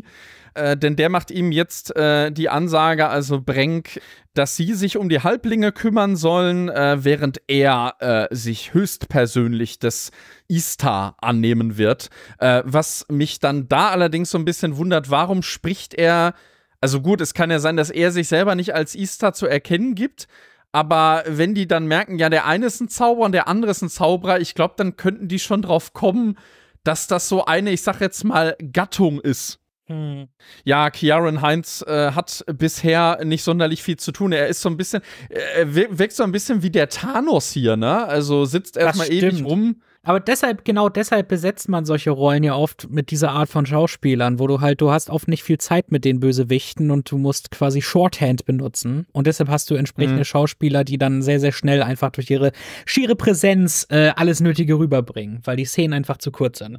Ja, er schafft es auf jeden Fall mit, also Kiaran Heinz, äh, da merkt man, der ist halt auch erprobt mit äh, seiner Stimme. Und die Stimme äh, ist ja auch ein Aspekt, der nicht unwichtig ist bei Saruman. Und wenn du dir ihn jetzt ansiehst, er sieht halt einfach wie ein jüngerer Saruman aus und auch sein Stab ähnelt sehr dem von, von äh, Christopher Lee in äh, beiden Trilogien. Sein Stab, der ja wirklich so ähnlich auch aussah äh, wie der Turm Ortank, da, da, ist, die Ähnlichkeit ist mir aber nicht aufgefallen mit dem Stab. Okay. Ich glaube, da haben sie sich hier noch ein bisschen zurückgehalten. Ja, also äh, auf mich wirkt es schon sehr eindeutig, wer er ist, aber äh, wir, äh, also es ist ja nur eine kurze Szene, denn wir kommen zu Scamdalf, der immer noch äh, im äh, Baum feststeckt, bis dann dieser besagte Einsiedler kommt, ja, und dem Baum befiehlt, ihn rauszulassen und äh, selbst wer nicht wusste, wer das hier sein soll, äh, schon in der vorherigen Szene, bei dem dürfte spätestens jetzt der Groschen gefallen sein, obwohl eigentlich schon vorher, ne? Ja, weil er benutzt im Prinzip, du lässt ihn raus, du solltest nicht wach sein, iss Erde, trink Wasser, geh schlafen. Und dann lässt der Baum ihn frei. Das dürften äh, Filmfans äh, äh, am allerersten noch aus äh, Die zwei Türme kennen. Da ist ja eine Szene stark angelehnt an das aus dem Buch, was dann im Film rausgelassen wurde. Also wo äh, äh, Baumbart da dem, dem Baum befiehlt, die beiden Hobbits da freizulassen. Da sagt er wortwörtlich genau das hier. Ne? Ja, genau. Aber Buchfans kennen das natürlich noch ganz woanders her. Richtig, und äh, der, der Fremde stellt sich dann, also der andere Fremde, stellt sich dann auch äh, letztendlich vor mit, äh, ja, man nennt mich äh, Tom Bombadil. Mhm. Und ähm, ge gespielt wird er von Rory Kinnear, Mhm. welche die meisten vor allem äh, kennen dürften aus Tanner, aus den letzten paar James Bond-Filmen mit Daniel Craig. Genau, äh, da ist ja so ein Assistent von M, glaube ich, ne? So ab Genau, aber hat eine. Ja. eine mannigfaltige Karriere gehabt. Und als er angekündigt wurde in der Rolle, dachte ich erst, ha, wirklich? Also ich war nicht unbedingt gleich sofort, nein, sondern ich war so ein bisschen, ha, damit hätte ich jetzt so nicht gerechnet. Mhm. Aber die Art und Weise, ich muss ganz ehrlich sagen, wie er hier, wie er hier aufgemacht ist und wie er das spielt, ich fand das doch ziemlich entzückend, muss ich sagen. Ja, also als er sich da schon in der anderen Szene vorher das erste Mal umdreht, dachte ich mir so, ja, vom, ich meine, also es, es, das Gesicht von, von äh, Bombardier wird ja im Buch so beschrieben, dass er äh, äh, Wangen hat wie so ein reifer Apfel, ne? Und irgendwie so, so äh, tausend Lachfalten. Den reifen Apfel habe ich bei Rory Kinnear gesehen, die tausend Lachfalten absolut gar nicht, muss ich sagen. Noch nicht ganz, aber er hat so ein Twinkle in seinen Augen. Ja, das er hat da schon. etwas, etwas ist da in seinen Augen, so dieses etwas so leicht schalkhaftes und das geht auch eigentlich die ganze Zeit nicht weg. Und das fand ich dann doch sehr schön, weil das das Problem ist, die ersten paar Promo-Fotos, du kannst nicht diese Promo-Fotos von Tom Bombadil zeigen, wo er dann nicht lächelt. Ja. Die hätten sich da, die hätten sich andere Sachen und der der der hat durchaus ja seine ernsten Momente auch im Buch. Trotzdem ist das vielleicht dann nicht der beste erste Eindruck, den man haben konnte und damit können wir dann direkt dahin kommen, inwiefern das hier jetzt reinpasst oder nicht und ja. Womit vielleicht Leute Probleme haben könnten. Ja, und wir sollten vielleicht auch äh, noch mal ein bisschen aufklären, wer jetzt eigentlich genau Tom Bombadil ist. Äh, das ist ja äh, die Figur, die Peter Jackson äh, aus seinen Filmen restlos rausgestrichen hat, weil man muss ja dazu wissen, die Hobbits gelangen ja nicht äh, vom Auenland direkt nach Bre, sondern äh, geraten erst in den alten Wald, äh, wo sie dann auch die Bekanntschaft eines Baums machen, der hier aber anders genannt wird. Ich glaube, irgendwie Old Man Ironwood äh, nennt ihn dann Genau. äh, Tom Bombadil. Äh, Im Buch heißt der Old Man Willow, also der alte Weidenmann. Das ist äh, ziemlich ähnlich wie hier. Ja, und dann kehren ja die Hobbits äh, bei ihm ein und ja, Tom Bombadil ist so eine der mysteriösesten Gestalten, die sich Tolkien jemals ausgedacht hat. Bis heute wissen Buchleser eigentlich gar nicht wirklich, was der soll. Und viele haben ja eine ganze Zeit lang auch vermutet, dass er eigentlich so ja, äh, eigentlich ein Sinnbild für Eru Iluvatar ist, also wirklich den, den, den allmächtigen Vater, der noch selbst über den Valar sitzt. Das hat aber Tolkien äh, verneint äh, zu Lebzeiten. Und äh, ja, er ist wirklich ein Mysterium, was er bewusst offen gelassen hat und was dann aber Peter Jackson äh, aus dramaturgischen Gründen einfach gestrichen hat, weil, naja, er ist irgendwo auch ein Bremsklotz für die Handlung. Ja, jetzt letztendlich, sie, sie kommen zu ihm, die Hobbits, äh, im Buch, und dann stoppt der Plot für so ein paar pa Kapitel quasi. Und es ist einfach nur, und jetzt viben wir mal ein bisschen. Und es ist so ein bisschen Worldbuilding und wir lernen Tom Bombadil kennen, wir lernen seine äh, Frau kennen, Goldbeere, Tochter des Flusses, die im Buch vorkommt. Und äh, Genau, die hier kurz angedeutet wird. Ja, genau, kleines bisschen später. Und, ähm, äh, und, und letztendlich erfährt man dann auch in diesem, äh, in dem, in dem Buchkapitel, dass er anscheinend sehr mächtig ist, denn der Ring hat keinen Einfluss auf ihn. Er Ja. nimmt, äh, er sagt, zu Frodo könnte ich den Ring vielleicht mal haben und dann steckt ihn auf den Finger, wird nicht unsichtbar, dann lässt er den Ring verschwinden und wieder auftauchen und Frodo denkt sich, huch, was ist jetzt mit dem Ring los? Mhm. Steckt ihn selber an, einfach um zu gucken, ob er noch funktioniert, wird unsichtbar, aber Tom kann ihn sehen. Ja. Und er äh, stellt sich auch, und darauf kommen wir dann auch gleich noch zu sprechen, ähm, denn nämlich letztendlich nimmt er ja den äh, Fremden mit sich und äh, Mhm. gibt ihm gibt ihm ein Bart, wo wir dann auch kurz eine Sing eine weibliche Singstimme kurz hören, wo man denkt, wo auch der der, der Fremde dann denkt, ey, ist da irgendjemand bei dir? Und das ist so alles so ein bisschen vage. Mhm. Und dann stellt er sich, und damit hatte ich ein bisschen ein Problem, weil dann stellt er sich so ein bisschen unmotiviert vor in der Art und Weise, wie er dann, er benutzt halt genau die Worte, die er auch im Buch sagt, wo er dann halt von sich selber sagt, ich bin der Älteste. Ja. Und äh, Tom war hier vor dem ersten, vor der ersten Eichel, vor dem ersten Vogelgesang oder was auch immer halt. Das, und Tom hat alles schon gesehen. Und das ist auch etwas, was er im Buch sagt, aber dort ist es so ein bisschen besser eingeleitet. Und hier wirkt es einfach so ein bisschen, ja, wir mögen die Zeilen und die sollen hier rein. Ich finde, die hätten das ein bisschen besser vorbereiten können. Ja, das hätte man mehr adaptieren sollen und nicht eins zu eins übernehmen.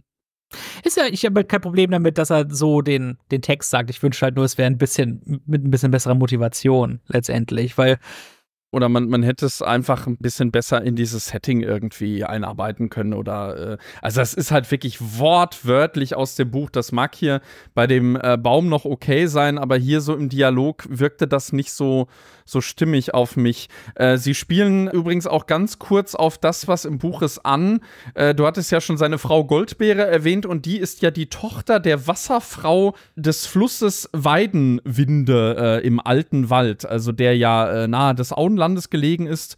Und das ist ja der Fluss, der sich quer durch diesen, diesen Wald zieht. Ne? Mhm. Äh, aber Goldbeere wird wirklich nur ganz am Rande angedeutet. Also Tom meint dann ja irgendwie auch so im, im Off so, ach ja, sei doch nicht so schüchtern. Sie ist vielleicht in irgendeiner Art bei ihm, aber auch nicht ganz. Mhm. Nämlich, äh, das ist nämlich auch ein Punkt, warum ist Tom eigentlich hier? Ja. Und nicht, äh, nicht an dem Ort, äh, mit dem wir ihn eigentlich so verbinden, was dann ja eben halt dieser, dieser Landstrich ist zwischen Bre und dem Auenland. Und letztendlich, ich habe nochmal alles genau gründlich nachgeguckt und durchforstet. Es ist nicht begründet, dass er sein Reich nicht verlassen kann. Mhm. Er kann durchaus herumreisen. Letztendlich seine Abenteuer, es gibt ja auch ein separates Buch, so ein kleines, so ein kleines Gedichtband über Tom Bombadil. Nämlich er ist ein Charakter, den Tolkien schon vor Hobbit und Herr der ja. erdacht hat. Das Buch ist von 1934 bereits. Das ist sogar vor dem Hobbit entstanden. Und den Charakter hat er dann halt einfach eingebaut in Herr der Ringe, äh, mehr oder weniger. Was man auch merkt, ne? Ja. Ja, kommt dann auf den Standpunkt an. Aber ähm, ja, und dort erlebt Tom einige Abenteuer und geht auch ein bisschen über die Grenzen seines Reiches hinaus. Also er sagt zwar am Ende, wenn er sich von den Hobbits verabschiedet, äh, er wird sein Reich nicht verlassen, aber ich glaube, das liegt jetzt nur an den momentanen Umständen, weil er kann unter anderem, er kann nach Bre, er kann da bis nach Bockland und äh, er ist nämlich auch bekannt mit dem Bauern Maggot, mhm. äh, mit dem er auch schon lange Gespräche geführt hat und ein kleines Abenteuer erlebt hat. Also es ist nicht abwegig, weil nämlich er begründet es auch, warum er hier ist, weil er nämlich äh, früher war hier alles grün mhm. und jetzt ist alles Wüste und ich musste und ich musste mal herkommen, um das selbst zu sehen. Und das heißt, ich schätze, da hat sich dann halt einfach, ist sie hier gewandert oder wie auch immer er hierher gekommen ist und hat sich dann hier so ein bisschen einfach eingerichtet und ist für ein bisschen länger geblieben. Das finde ich an sich nicht schlimm. Das, das begründen sie so ein bisschen, weil, wenn es jetzt irgendwie wäre, oh, er ist dahin gebunden. Mhm. Es ist nur in dem Sinne so ein bisschen schade, weil ich ihn halt tatsächlich gerne wirklich in seiner vollkommen natürlichen Umgebung gesehen hätte. Also Tom Bombadil ist eventuell das mächtigste Wesen Mittelerdes überhaupt, aber nur in seiner Blase, also eben in äh, dem Gebiet äh, am alten Wald. Da äh, hat er nur seine volle Macht und äh, ja gut, ich, ich hätte, ja gut, die haben jetzt halt den Ring nicht hier drin, äh, weil es wäre schon interessant gewesen, wenn er den halt hier aufstecken würde und äh, dass er dann doch unsichtbar wird, ne? Ha, ja, das spielt halt jetzt noch keine Rolle. Nee. Letztendlich sehen wir aber, dass er auch noch Macht hat. Äh, vielleicht hat nicht seine volle Macht, aber wir sehen, dass er ein bisschen zaubert. Ja, er definitiv. zündet mehrere Kerzen gleichzeitig an in so einem schönen Effekt und dann verwandelt er, glaube ich, ein Salatblatt in ein Stück Brot. Also irgendetwas verwandelt er in ein Stück Brot. Ja, die Karte, die Karte von äh, äh Die Karte! Genau, die spießt er auf und äh, reicht die dann äh, Scamdalf rüber und der ist merkt auf jeden Fall, dass der übernatürlich ist und vor allem äh, setzt sich dann Tom äh, hin muss gähnen und äh, als er gähnt, lodert das Feuer im Kamin für einen Moment richtig groß auf. äh, so sehr, dass dann auch äh, irgendein Schaf, was da äh, bei ihm ist, anscheinend Angst kriegt.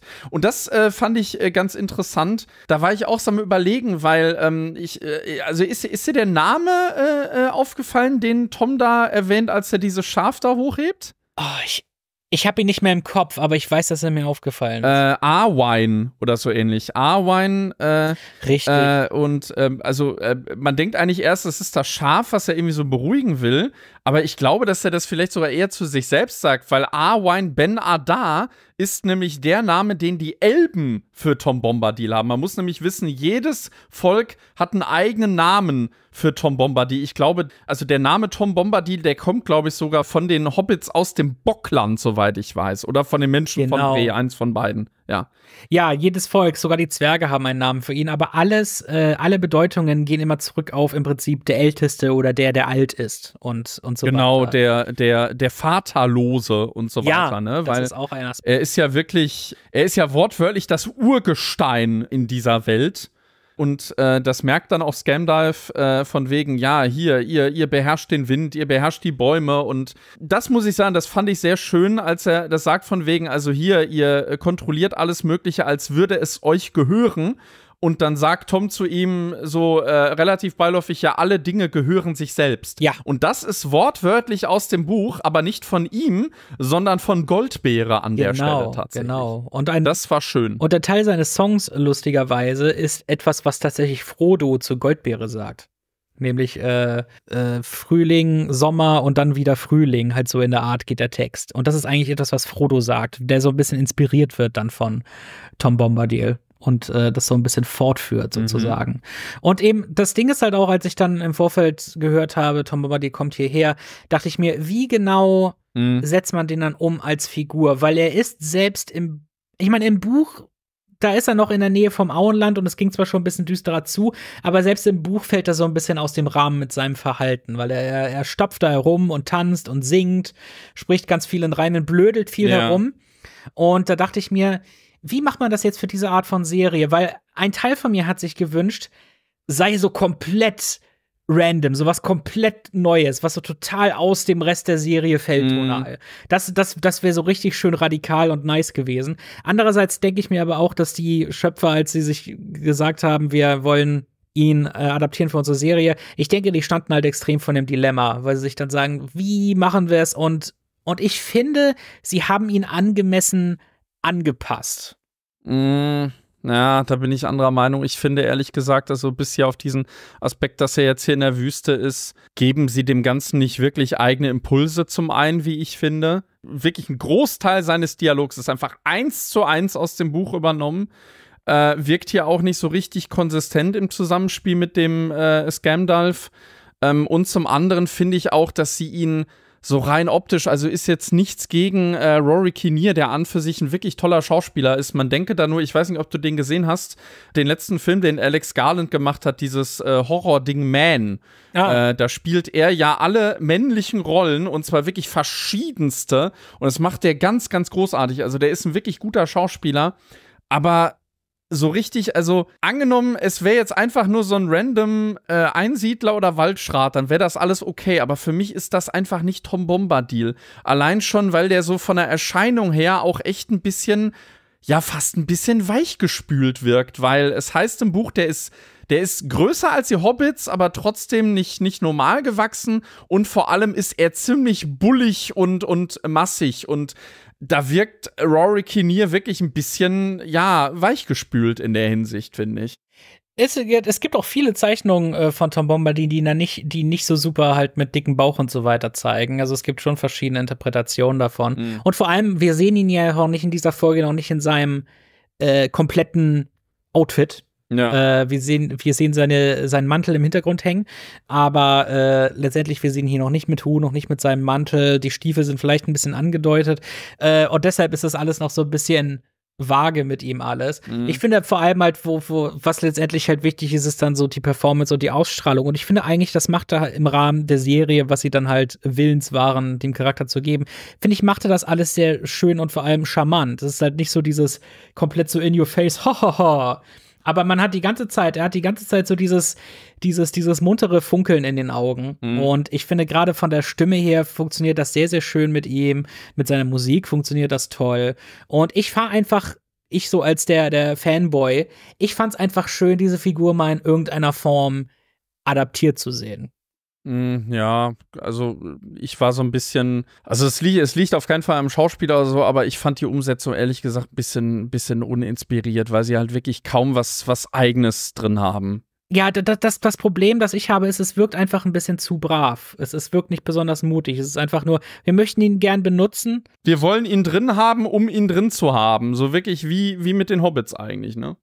Ja, ist ein bisschen schade. Und nämlich, ähm, äh, das Ding ist eben auch äh, mit einem mit einem Freund, wir hatten darüber gesprochen, wenn Tom Bombadil auftritt, was wäre so unsere Wunschbesetzung? Und da kam er sofort um die Ecke mit Matt Berry. Mhm. Und ich denke mir, das wäre absolut perfekt gewesen. Halt Matt Berry, die meisten werden ihn kennen vielleicht aus ähm, der äh, What We Do in the Shadows Serie, Hm, okay. ähm, wo er einen der Vampire spielt. Andere werden ihn kennen vielleicht als den, als den zweiten Boss in der Serie IT Crowd. Mhm. Er ist, ist in verschiedenen Sachen äh, wundervoller, sehr, sehr äh, witziger Schauspieler mit so einem ganz besonderen Look und so einer ganz besonderen Stimme. Und ich finde, der hätte da richtig geil gepasst. Äh, und der wäre dann aber auch wirklich komplett so aus dem Rahmen gefallen. Aber das wäre auf jeden Fall ein buchennäherer Tom Bombadil gewesen. Äh, ja, gut, der wäre dann wahrscheinlich aus der Tonalität herausgebrochen. Ich meine, die Serie ist ja schon eigentlich ziemlich ernst und es wäre, ja gut, ich, ich, fänd's- ich hätte es trotzdem interessant gefunden, wenn sie hier einen tonalen, also wirklich einen totalen tonalen Bruch gehabt hätten, aber den trauen sie sich nicht so wirklich. Also selbst der Gesang von dem ist auch eher so verhalten von, von äh, Rory Kinnear. Ja, mit ihm ist es so ein bisschen eher so dann die, die etwas melancholischere Stimmung. Nicht komplett traurig, Mhm. aber doch etwas, ähm, ja, wie gesagt, etwas, etwas zurückhaltender. Und diese Momente hat Tom Bombadil durchaus auch im Buch. So ist es nicht. Und er ist, und er ist weise und er weiß, wann er auch mal äh, ernst sein muss. Mhm. Also, das ist alles begründet in der Figur, aber halt äh, sehr viel mehr kriegen wir davon jetzt so noch nicht zu sehen. Und ähm, letztendlich sagt er dann, ja, es kommt zu einem längeren Dialog zwischen den beiden. Genau, äh, Scamdalf will nämlich, dass Tom Bombadil ihm diese Magie beibringt. Ja, womit wahrscheinlich auch viele ein Problem haben werden, weil äh, es ist ja nie so, dass, also Tom Bombadil ist ja keine Mentorfigur oder sonst was. Also ich, ich muss dazu sagen, ich habe es wirklich geahnt, was sie hier mit ihm machen werden. Und dass es auch nicht sehr viel weiter darüber hinausgehen wird. Aber, weiß nicht, Gandalf muss ja nicht ausgebildet werden und schon gar nicht von Tom Bombadil, der sich eigentlich auch die ganze Zeit immer nur um sich selbst kümmert. Also äh, ich habe jetzt auch nochmal nachgesehen, es fiel mir auch nochmal ein, als die dort beratschlagen, was sie mit dem Ring äh, anstellen wollen, äh, als sie bei, bei Elrond in Bruchtal sind, jetzt in Herr der Ringe, da kommt auch mal der Gedanke auf, ja, könnte Tom Bombadil nicht den Ring kriegen und äh, den bei sich beherbergen und ja, der ist das mächtigste Wesen Mittelerdes. Gandalf meint dann auch, glaube ich, sogar, angenommen Mittelerde geht komplett hops, dann ist Tom Bombadil das allerletzte, was dem zum Opfer fallen wird. Also der wird am längsten Widerstand leisten können. Ich glaube, ähm, äh, Glorfindel sagt das sogar. Genau, richtig. Der ist, ja, ja, genau, der ist auch dabei. Also da kommt dann eben der Gedanke auf, ja, könnte der den nicht an sich nehmen? Und äh, Gandalf äh, verneint das dann aber, weil er meint, also erstens würde er es wahrscheinlich nicht wirklich ernst nehmen. Ja. Und zum anderen würde er den Ring wahrscheinlich irgendwann vergessen oder sogar wegwerfen, weil ja, er verlieren, weil er gar keinen weil er sich Bezug nicht dazu hat. ja, weil er sich nicht dessen bewusst ist, wie wichtig das eigentlich ist. Genau, er steht so außerhalb von allem und er ist einer, der durchaus das Herz am rechten Fleck hat und der hilft. Aber ja, er ist so, er ist, er, er steht einfach außerhalb so komplett. Und er ist halt sehr mächtig. Also es wird ja, es wird ja vermutet, dass er eventuell dasselbe sein könnte wie äh, Saruman und äh, Gandalf, also ein Maya. Ne? Ja, und letztendlich ist er sehr viel, äh, so, so laut äh, Tolkiens Briefen und so weiter, ist er sehr viel weniger ein Charakter, als vielmehr eigentlich Ein Konzept. eine Idee von einem bestimmten Zustand von ihm, genau, ein Konzept. Und ein Konzept, was ich auch äh, sehr befürworte und sehr, sehr, sehr, sehr schön finde. Und deshalb ist, und das ist auch einer der Gründe, warum ich seine Kapitel in, im Buch so mag. Weil das, ich, äh, ich habe sogar halt bei verschiedenen ähm, äh, so Fantasy-Chats, die ich mit äh, Freunden und so mache, ich habe immer versucht, teilweise da Figuren zu kreieren, die so in die Richtung gehen. Halt nicht exakt Mhm. Tom Bombadil, aber die auf jeden Fall so diesen Tom Bombadil-Vibe versprühen sollen. Jedenfalls äh, will äh, Scamdalf was von ihm lernen und fragt sich dann auch, also ich glaube, sie hören dann draußen auch mal kurz irgendwie Pferde wiehern, ne? Genau. Und äh, Scamdalf äh, registriert dann so langsam, oh, ich sollte gar nicht die, die, die Sterne finden, ich sollte euch finden. Und der soll ihm jetzt Hm. irgendwie was beibringen und dann offenbart dann Tom, ja, ihr seid auch nicht der erste E-Star, äh, der, der zu mir gekommen ist. Äh, vor Jahren war hier schon mal einer, ja, und wer ist das natürlich? Der dunkle Zauberer. Ja, und was wurde aus dem? Ja, also der, der wollte genauso lernen, Magie zu wirken, wie jetzt auch Scamdalf. Und ja, mittlerweile kontrolliert er einen Großteil von Ruhen und äh, wird auch immer machthungriger. Und im äh, besten Fall sucht er nach einem Verbündeten, der mächtiger ist als er. Und äh, da vermutet dann Scamdalf natürlich, ja, es könnte Sauron sein, dass er sich mit dem zusammentut. Ich glaube aber eher, dass er scharf darauf ist, Gan äh, äh, Scamdalf für seine Sache zu gewinnen, ne?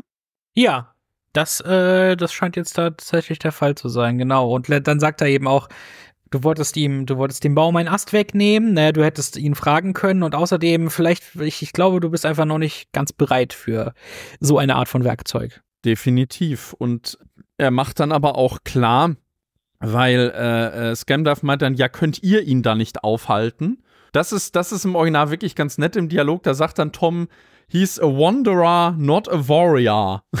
ne? Also im Deutschen funktioniert das natürlich nicht. Sprich, er ist, er ist ein Wanderer und kein Krieger. Also da merkt man wieder so dieses, ja, ich steck den Kopf in den Sand und kümmere mich um meine Sachen. Ne? Ich glaube, er redet hier sogar, das ist auch ein Verweis aufs Buch, er redet hier, glaube ich, irgendwie auch von Lilien oder so, die er pflanzen will, ne? Hm. Und äh, ja, offenbart dann aber, äh, dass es letzten Endes äh, Scamdalfs Aufgabe ist, nicht nur die Zerstörung Mittelerdes zu stoppen, ja, sondern auch Sauron aufzuhalten. Also das ist jetzt eigentlich so seine Mission. Ja, und das ist dann auch das Letzte, was wir von ihnen sehen. Genau, das wird auch relativ bedeutungsschwanger herübergebracht natürlich. Ja, hm, ja, gut, also ich, äh, ich meine, ich weiß ja noch, was da kommt und also ich habe ja schon alles gesehen, äh, du ja noch nicht, aber äh, so viel machen sie ehrlich gesagt nicht mehr aus Tom Bombardier, sage ich mal. Ja, es ist. Ja, das ist, also es ist letzten Endes genauso gekommen, wie ich es vermutet, in Anführungsstrichen befürchtet hatte. Der ist ein, letzten Endes ein Stichwortgeber und sie haben ihn einfach nur drin, um ihn drin zu haben. Also ich meine, dieser Ansatz von wegen, dass er jetzt hier hingekommen ist und äh, äh, checkt von wegen, ist, ist denn jetzt hier wirklich nicht mehr alles grün, das mag noch okay sein, aber so wirklich viel machen sie da auch nicht mehr draus. Habe ich, also hatte ich hier schon das Gefühl und auch so insgesamt, deshalb ist es eigentlich ich weiß, du kannst dem Ganzen insgesamt mehr abgewinnen, aber letzten Endes ist es halt wirklich purer Fanservice.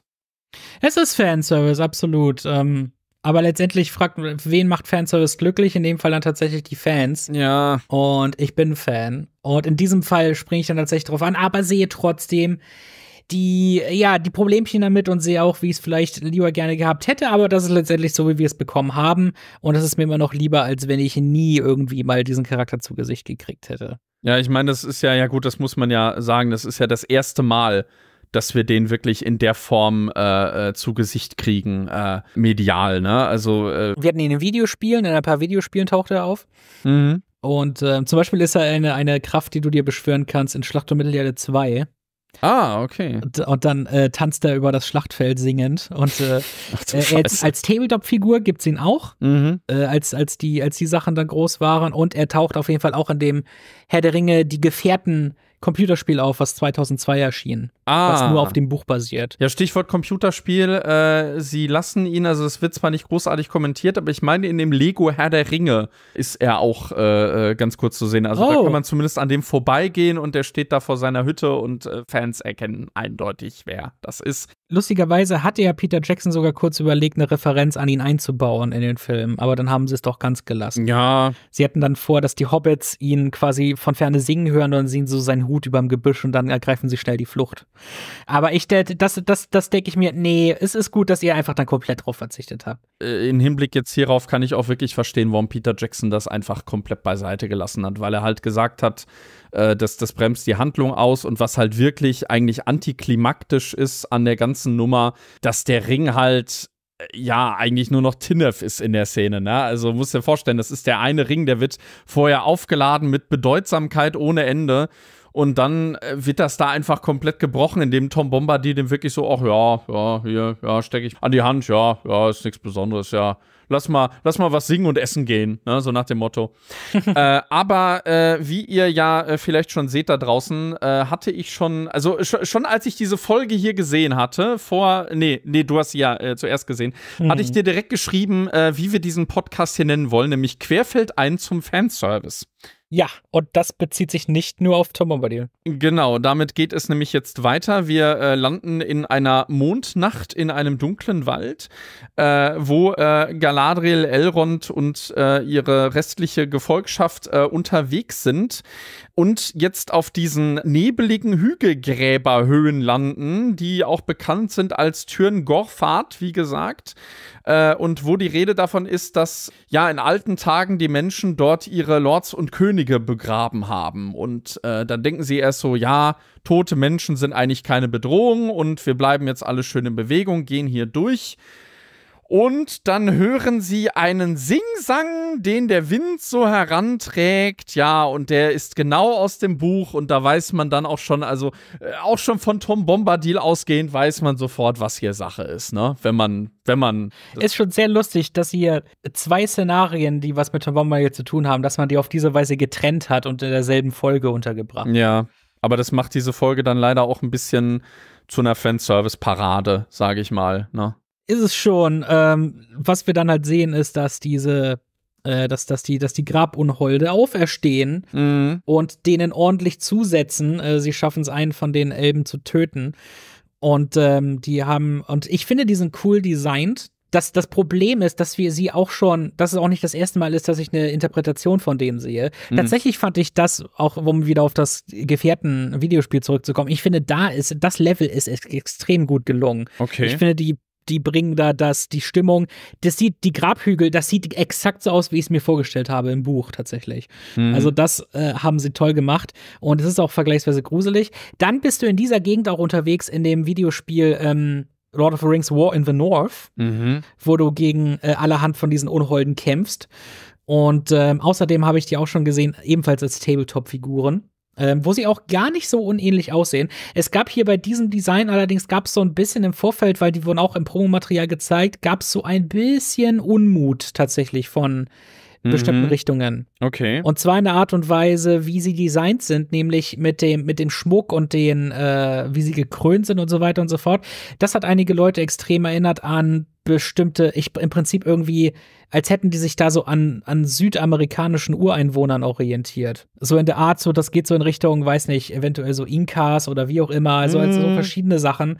Und das, das fanden einige dann irgendwie problematisch, was ich gut verstehen kann. Ich glaube, die Referenzen, also jetzt, wenn ich wo ich es jetzt komplett gesehen habe, es ist eher oberflächlich. Es wirkt nicht unbedingt super exotisch, Mhm. aber ich kann verstehen, dass da vielleicht einige was drin gesehen haben.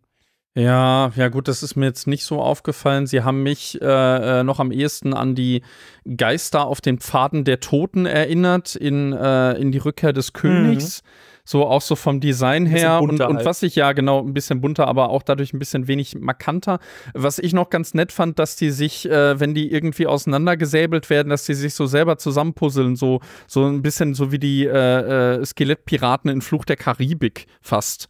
Ja, ohne, ohne dass es aber wie ein Rip-Off wirkt. Ich glaube, die haben sich auch ganz doll Mühe gegeben, wie können wir die umsetzen, ohne dass es so aussieht wie etwas, was wir schon gesehen haben. Hattest du denn das Gefühl, dass hier so wirklich Atmosphäre aufkam in der Szene? Weil den Anfang fand ich noch echt ganz gut, also auch mit dem Nebel und dann auch so diesem, diesem Singsang, den man eben aus dem Buch kennt von den Grabunholden.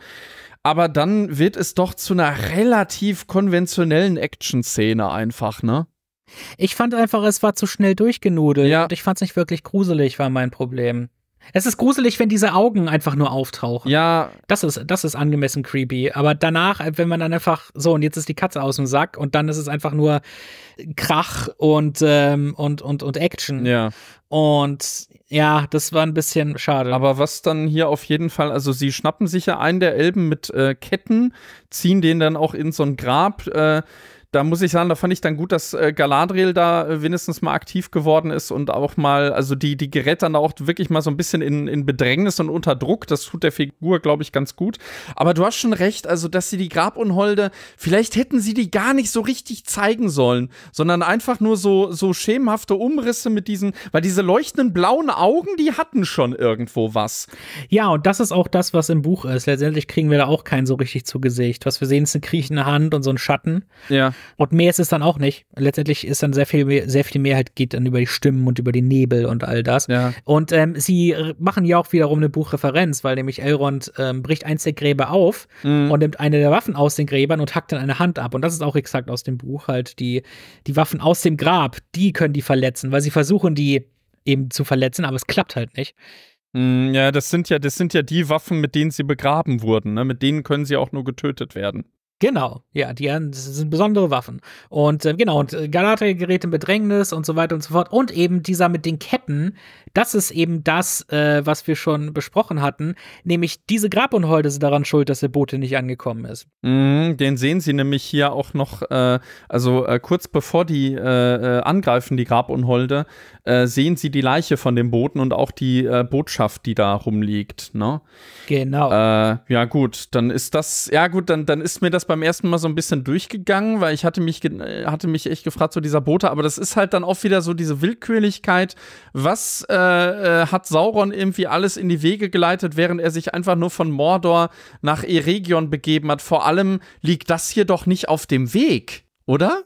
Nee, nicht für, nicht für ihn, aber das ist, ähm, äh, wie gesagt, der, Schatten des, ich meine, Casadum lag ja auch nicht auf seinem Weg. Ja, ja, aber wir haben ja nicht gesehen, dass er bis da hochgeht. Also das ist halt wieder, also das, das ist halt wieder dasselbe wie, wie mit der Brücke. Das wird hier einfach behauptet, dass Sauron das in die Wege geleitet hat, aber wir haben keinerlei Anhaltspunkt. Das ist mir, das ist mir zu diffus an der Stelle.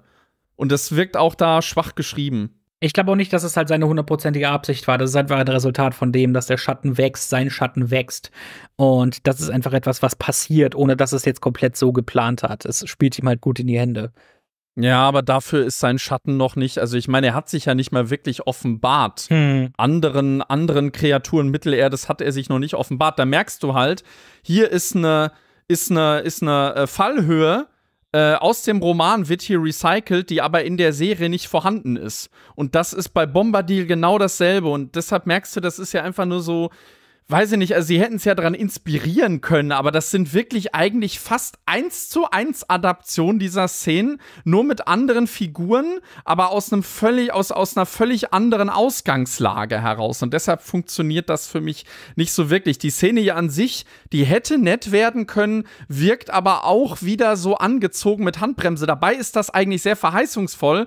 Äh, sah man ja auch schon im Trailer, wie die sich da so ja fast in so einem Avengers-Shot mäßig aufstellen. Ja. Ne? Aber äh, die Figuren sind dafür dann auch dann leider ja zu belanglos. Und ich muss sagen, mir fällt, mir stößt es ein bisschen sauer auf, weil die Serie ja so mit Diversität hausieren geht, dass ausgerechnet der einzige, äh, in Anführungsstrichen jetzt wieder schwarze Elf, äh, Elb neben äh, Arondir, dass ausgerechnet der derjenige ist, der hier das Zeitliche segnen muss. Ja, es ist so ein bisschen, ich meine, das, das, das soll dann im Prinzip vielleicht, weiß ich, vielleicht ist das auch so eine seltsame Stables wegen Gleichberechtigung. Ähm, ja. Aber äh, ja, es ist ein bisschen halt, ich, ich denke, irgendjemand muss sterben, um zu zeigen, die Situation gefährlich ist. Aber das, das äh, hat mich eher so getroffen als das ist irgendwie so das übelste so Oldschool-Slasher-Klischee. Ja, also ich meine, man muss ja jetzt bedenken, äh, wenn die die Skripte schreiben, dann haben die ja nicht im Kopf, mit welchen Schauspielern das äh, besetzt wird, äh, in den meisten Fällen. Ne? Ja. Und äh, da kann dann natürlich auch mal sowas entstehen, aber das ist dann eigentlich eher so Aufgabe der Regie und der Showrunner an der Stelle. Also, äh, ja, weil, äh, wie gesagt, die Serie, die geht ja so damit hausieren, dass sie so modernen Sehgewohnheiten entspricht und das dann hier direkt äh, vor allem wäre es ja mal schön gewesen, wenn man dann jetzt auch mal ein bisschen länger, also dann hätte man jetzt an, also da, da, hätte man vielleicht das auch ein bisschen fixen können, was man bei Aaron dir versäumt hat, dass der nur so eine, so eine diffuse Vorgeschichte hat und hier hätte man vielleicht diese beiden anderen, also man hätte ja zum Beispiel sowohl die Asiatin als auch ihn hätte man sagen können, ja, die kommen von völlig woanders her, aber letzten Endes sind sie, wie du nur gesagt hast, Red Shirts und das ist leider sehr, sehr schade. Also jedenfalls, ja, der eine, der eine bisher. Ähm, nun ja, aber jedenfalls schaffen sie es zu entkommen äh, mhm. Wo sind wir dann? Relativ leicht auch, ne? Es, es wird dann eben äh, so suggeriert, dass das Sauron dahinter steckt, ne? Aber ja gut, das haben wir ja schon äh, erörtert. Wir landen als nächstes in Pelagier, wo äh, Isildo und auch andere Südländer äh, nach Theo suchen. Also es ist Nacht mit äh, Fackeln. sie finden dann dort auch relativ schnell das Lager Aaron Dier ist auch mit von der Partie, findet Äxte, also mehrere Äxte haben die äh, Wildmenschen hier anscheinend zurückgelassen und das findet er schon ein bisschen seltsam, weil Äxte sind für Wildmenschen mehr wert als Gold, meint er. Ja, ich meine, letztendlich sind es ja Waffen und mit denen kann man alles Mögliche sagen. Und da finden sie auch eine ziemlich verstümmelte Leiche. Oh ja, bei der ich erst dachte, es wäre Theo. Ja, ich dachte, oh, oh Gott, da dachte ich auch, Moment mal, aber nein. Genau, und dann äh, kehren sie dann ja wieder zurück und äh, versuchen dann irgendwie einen Plan zu machen, was sie jetzt tun sollen. was ich ganz nett fand, dass Aaron dir da äh, im Dunkeln sucht und dann eine Fackel findet, äh, die auf dem Boden liegt und dann erstmal äh, registriert, oh, die Fackel wird gehalten von dem abgerissenen Arm. Hm.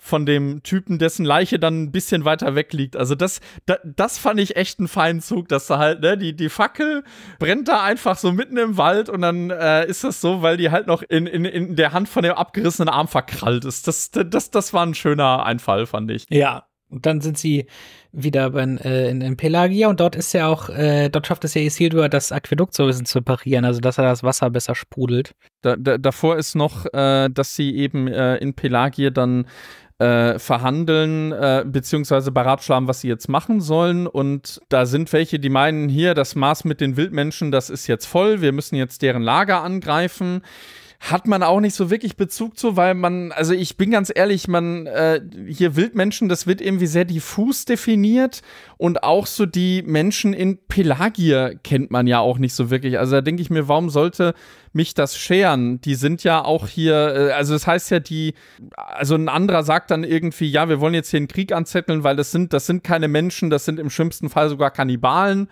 Und jede äh, Minute, die wir hier zugange sind, äh, mindert eben die Wahrscheinlichkeit, dass äh, Theo und andere wahrscheinlich noch am Leben sind.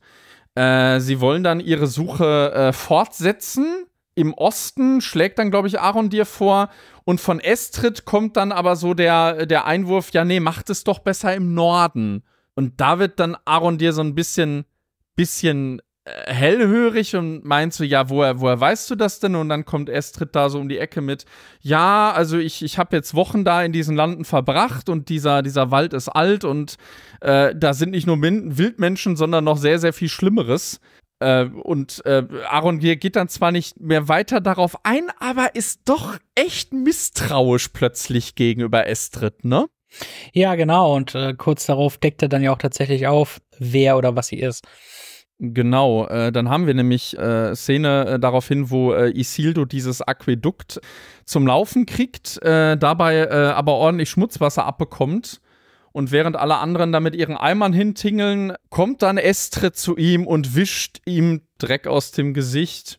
Er erzählt dann so irgendwie kurz, ja, in, in Numenor haben wir ja keinen Wassermangel, weil das, das Wasser, das kriegen wir direkt in unsere Häuser geleitet und äh, ja, man merkt, die bandelt echt so ein bisschen mit dem an. Er erwähnt dann zwar so kurz so ihren, ihren Verlobten, aber da geht sie gar nicht wirklich drauf ein.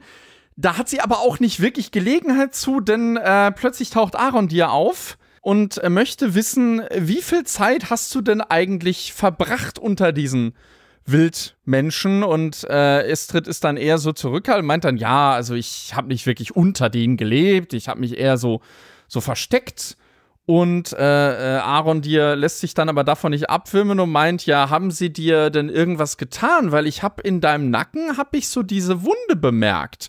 Und die sieht auch ziemlich frisch aus.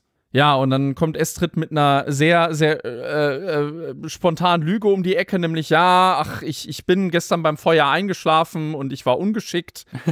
Ja, und dann, dann, äh, da, da, muss ich sagen, da äh, hat Aaron dir auch endlich mal so ein bisschen so zwischen den Zeilen, weil er dann sagt so, ja, von wegen so, ja, wir, wir, wir machen ja alle mal Dummheiten, wenn wir irgendwie hoffnungslos sind, ne? Versucht er sie erst so ein bisschen in äh, Sicherheit zu wiegen, aber sie fällt dann nicht darauf rein, sondern ja, äh, fühlt sich endgültig ertappt, äh, wirft einen Eimer nach ihm, will entkommen, aber er kriegt sie zu packen.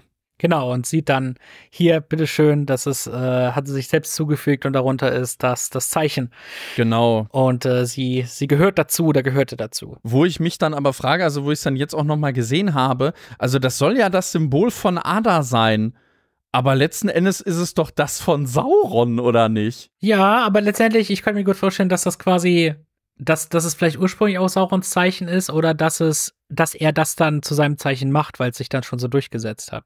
Na gut, er hat es ja auch schon in dieser äh, Festung da in Forward Wave, das hat er ja dann wahrscheinlich hinterlassen und nicht Sauron, ne? Aber das war ja eine Karte. Gut, da muss man sich fragen, warum er überall hier dieses Kartensymbol reinbrennt. Vor allem Sauron hat es ja auch getan. Warte mal, das, das würde dann ja bedeuten, dass Ada in Wahrheit Galadriels Bruder gekillt hat und nicht Sauron. Aber ja gut, also Mhm. irgendwie, irgendwie ist das nicht alles so wirklich schlüssig.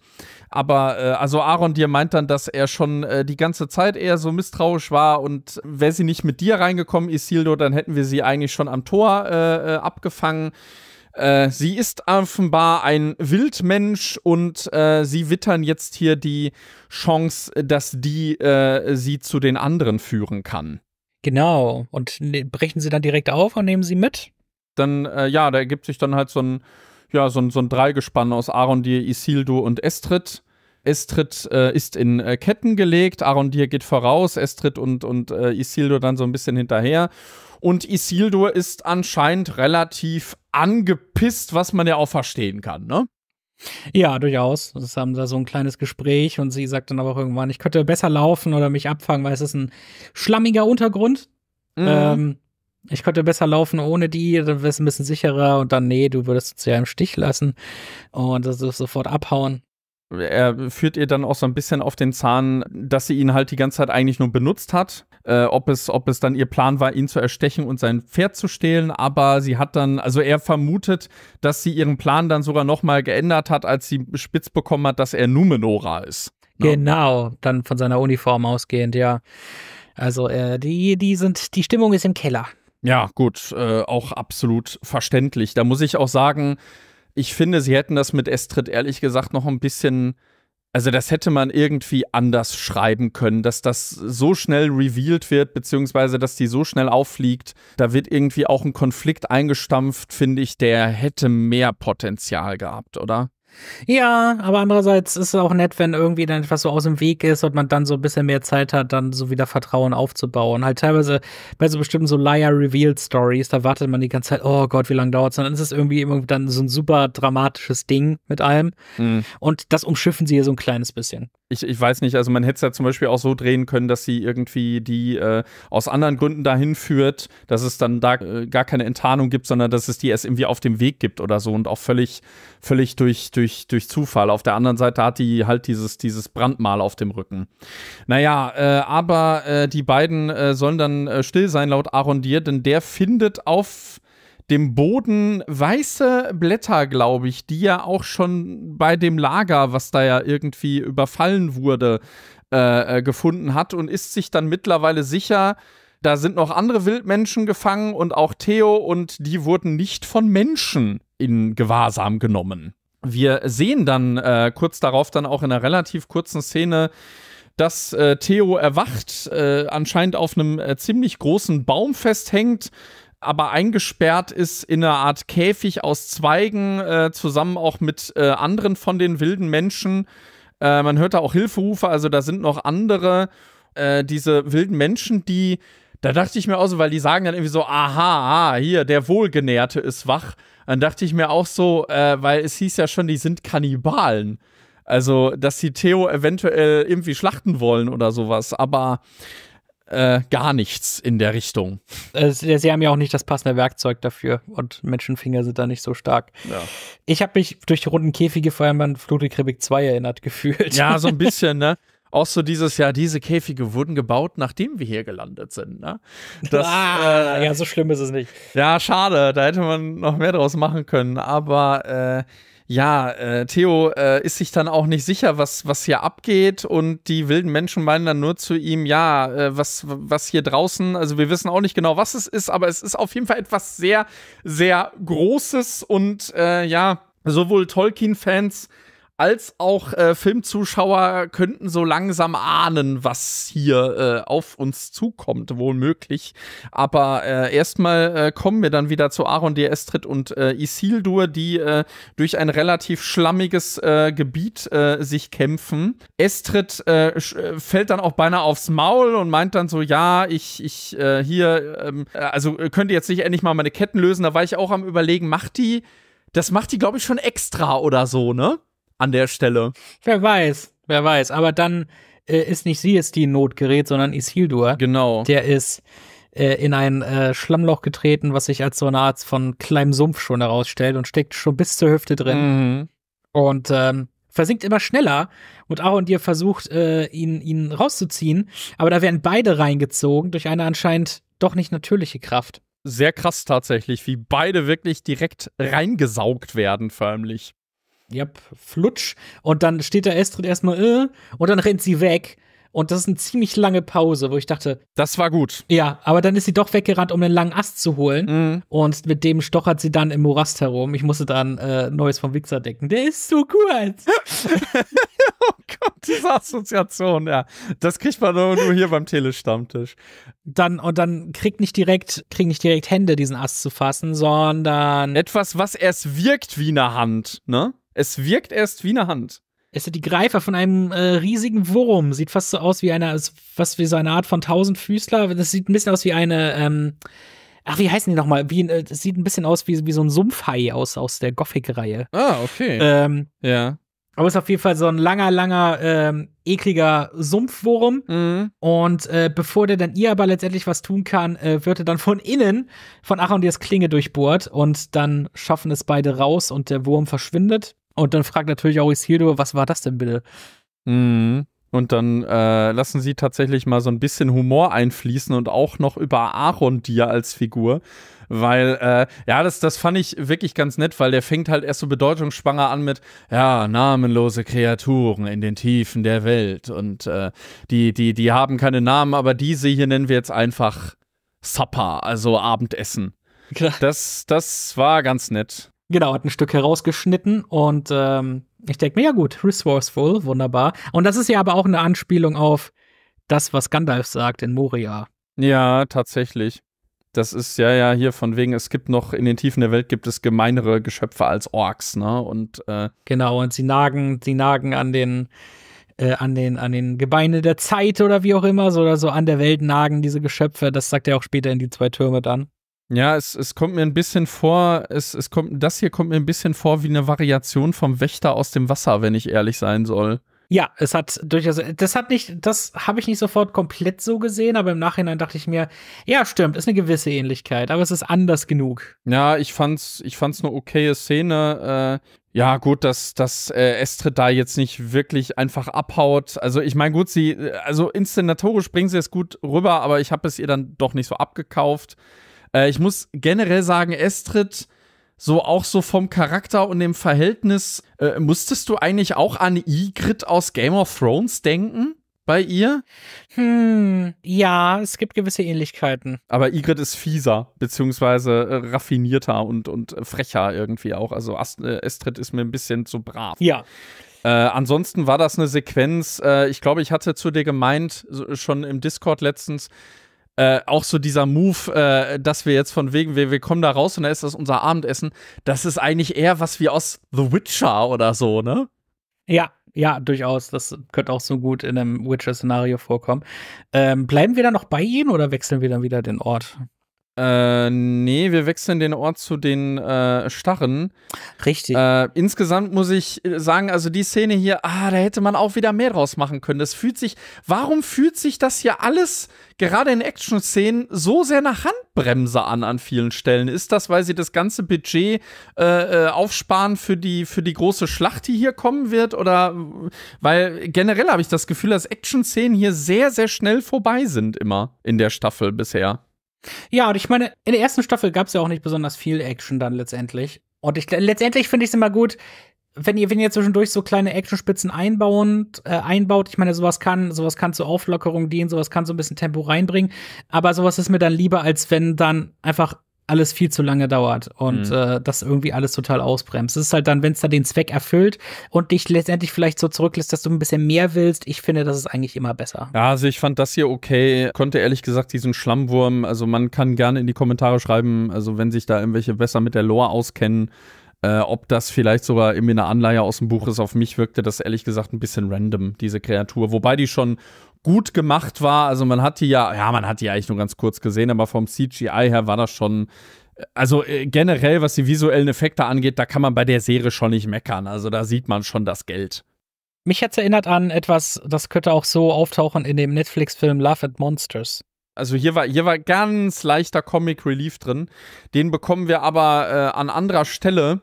Noch weitergehend, äh, nämlich in Ruhen äh, bei den äh, Starren, äh, wo die Haarfüße zusammen äh, sind mit äh, Mary Mac. Also die sind ja jetzt hier ja gefesselt worden, zumindest nicht geknebelt. Wären sie nämlich geknebelt worden, würde diese Szene jetzt hier nicht funktionieren. Denn äh, diese Anführerin Gunda Bale äh, kommt zu ihnen und meint dann, ja, ich habe mich jetzt beraten mit den Dorfältesten und wir sind uns einig, äh, bei Sonnenaufgang äh, kicken wir euch hier raus. Und eins, eins fand ich sehr lustig. Sie sagt dann nämlich so von wegen, ja, sorry, aber starren zuerst.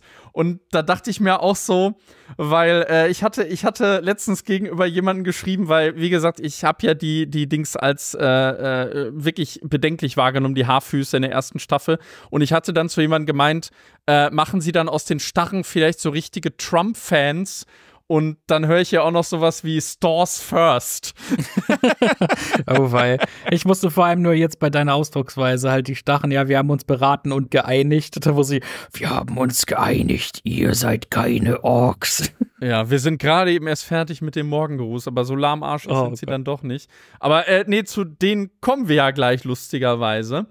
Aber Nori äh, äh, meint dann so, ja, gut, wir verstehen das. Äh, äh Sa Sardok hätte wahrscheinlich also ebenso äh, gehandelt oder wäre ebenso mhm. mit den Verfahren. Äh, und dann wird äh, die äh, Stammesführerin äh, kurz äh, argwöhnisch, meint so, Sardok? Äh, und äh, wer sich jetzt vielleicht nicht mehr so an die erste Staffel erinnert, äh, Sardok ist ja, äh, ja, äh, das äh, Anführer-Pendant der Haarfüße gewesen, nicht wahr? Also Lenny Hendry. Lenny Henry war es, genau. Und äh, dann, oh Moment, sie kennt den Namen. Oha, mhm. was konnte da sein? Und dann führt sie, sie zu einer, genau, führt sie zu einer Felswand, wo im Prinzip äh, so durch eine Art so von Höhlenmalerei wird so ein bisschen die Geschichte der der, der, der Starren äh, dort bebildert. Mhm. Und äh, daraus lässt sich erschließen, dass Sadok oder vielleicht einer seiner Vorfahren aus diesem Volk kommt, weil er gesagt hat, hier weit weg äh, muss es irgendwie so eine Art von äh, fast schon irgendwie so geheiltes Land geben. Also etwas, was, äh, mhm. was auf uns wartet, so das perfekte Land für uns. Und dann zog er mit einer Gruppe von äh, weiteren äh, Leuten, die daran geglaubt haben, zog er dann los, aber kam nicht zurück und hat es anscheinend nie gefunden. Aber so erkennt dann Nori, oh, und so ist dann äh, mein Volk entstanden. So sind wir Wanderer entstanden. Wir kommen ursprünglich hierher. Genau, also sie erwähnt ja dann, dass dieser äh, Ahne irgendwie äh, Rorimas äh, Barros hieß oder Rorimas und dass der eben auf der Suche nach diesem, ich sag jetzt einfach mal, äh, äh, Hobbit-Paradies war namens im Original ist es, glaube ich, The Susat oder so ähnlich, ne? Mm. Und äh, äh, da ist es dann so, also der, der hatte eben den, den Traum davon und das, was sie hier dann beschreibt, das klingt auch sehr nach dem Auenland, wenn ich ehrlich sein soll. Yep. Äh, der Haken an der Nummer ist dann aber, also der ist, äh, der, der ist einmal im Jahr, ist der mit einer Karawane ausgezogen, um das zu finden, ist dann irgendwann nicht mehr äh, wiedergekommen. Äh, obwohl er versprochen hatte, jemanden zurückzuschicken, um dann den Rest von ihnen nachzuholen. Also wenn er eben äh, dieses äh, gelobte Land sozusagen gefunden hat. Dann geht Nori äh, so langsam den Lichtchen auf. Nicht nur Poppys Wanderlied hat hier darauf hingedeutet, sondern ja, äh, Haarfüße waren vor ihnen dort in der Wüste. Äh, Gundabel will dann von ihr wissen, ja, sah, sah, euer Zuhause so aus, wie, wie wir uns das ausgemalt haben? Also seid ihr hier, um uns zum Zusat sozusagen zu führen? Ja. Und Nori ist dann aber doch relativ resigniert, meint dann ja, also Rory Mars hat es wahrscheinlich nie gefunden. Und ja, sie haben eigentlich kein Zuhause. Nach einer Weile sind sie einfach immer, immer weiter gewandert und so wurden sie dann zu einem Nomadenvolk höchstwahrscheinlich. Ähm, ja, fand ich ganz nett. Ich äh, hätte es ehrlich gesagt besser gefunden, wenn sie irgendwie mehr mit dieser Wandmalerei gemacht hätten. Also die stehen da eigentlich nur vor und dann äh, sagen die halt ihren Text auf. Da weiß ich, da hätte man visuell irgendwie mehr mitmachen können, finde ich. Also das, das hätte man mehr über Bilder und nicht über Dialog erzählen müssen an der Stelle. Ich meine, letztendlich haben wir die Bilder gesehen in Staffel 1 und hier reicht dann nicht, reichen dann eben diese paar Stichworte. Ich fand das so eigentlich schon ganz in Ordnung. Ich wünschte halt nur, ich hätte so ein paar mehr Details ausmachen können. Aber wo haben wir Bilder gesehen in Staffel 1? Na, ich meine halt, ich, ich meine ja, wir haben ja gesehen, wie die, wie die Haarfüße funktionieren als Volk und so. Wir haben die ja herumreisen sehen und das soll im Prinzip dann halt für uns dann ja ausreichen. Ja, ja, das, das meine ich ja auch nicht, sondern halt eher diese, diese ganze Vorgeschichte. Also das hätte deren Kultur Also das, das, das hätte beide Kulturen noch mehr voneinander unterschieden, beziehungsweise auch eine Verbindung zwischen denen geschaffen. Also ich weiß nicht, das, das wirkte ein bisschen langweilig auf mich, weil sie, sie haben da schon dieses Relief und dann, dann, ja gut, das ist eine Nacht, dann zeigen sie das ja nicht so richtig, aber die hätte das ja zumindest also die, die, äh, zumindest diese, diese Darstellerin, die hätte ja zumindest da irgendwie mehr mit interagieren können, von wegen, sa, siehst du hier, da, das sind die und das sind unsere Legenden und so. Ah, Stattdessen ja, ich, stehen ja. die nur stumpf davor oder man hätte es sogar theoretisch, wenn man, wenn man ganz äh, äh, äh bisschen kreativ hätte sein wollen, dann hätte man das vielleicht auch, hätte man so reinzoomen und das dann vielleicht so animieren können oder so, ne? Ja, so das wäre nice gewesen. Wie bei, ähm, ich, ich weiß nicht, hast du die Avatar-Serie auf, äh, auf Netflix gesehen? Die, also diese Realserie jetzt? Welche? Äh, hier Avatar Herr der Elemente, äh, die, die Realverfilmung auf Netflix. Ach so, ach so, nee, also nur da habe ich so die ersten zwei, drei Folgen gesehen. Okay, weil dann dürftest du das vielleicht noch mitbekommen haben, weil da machen sie nämlich genau sowas da.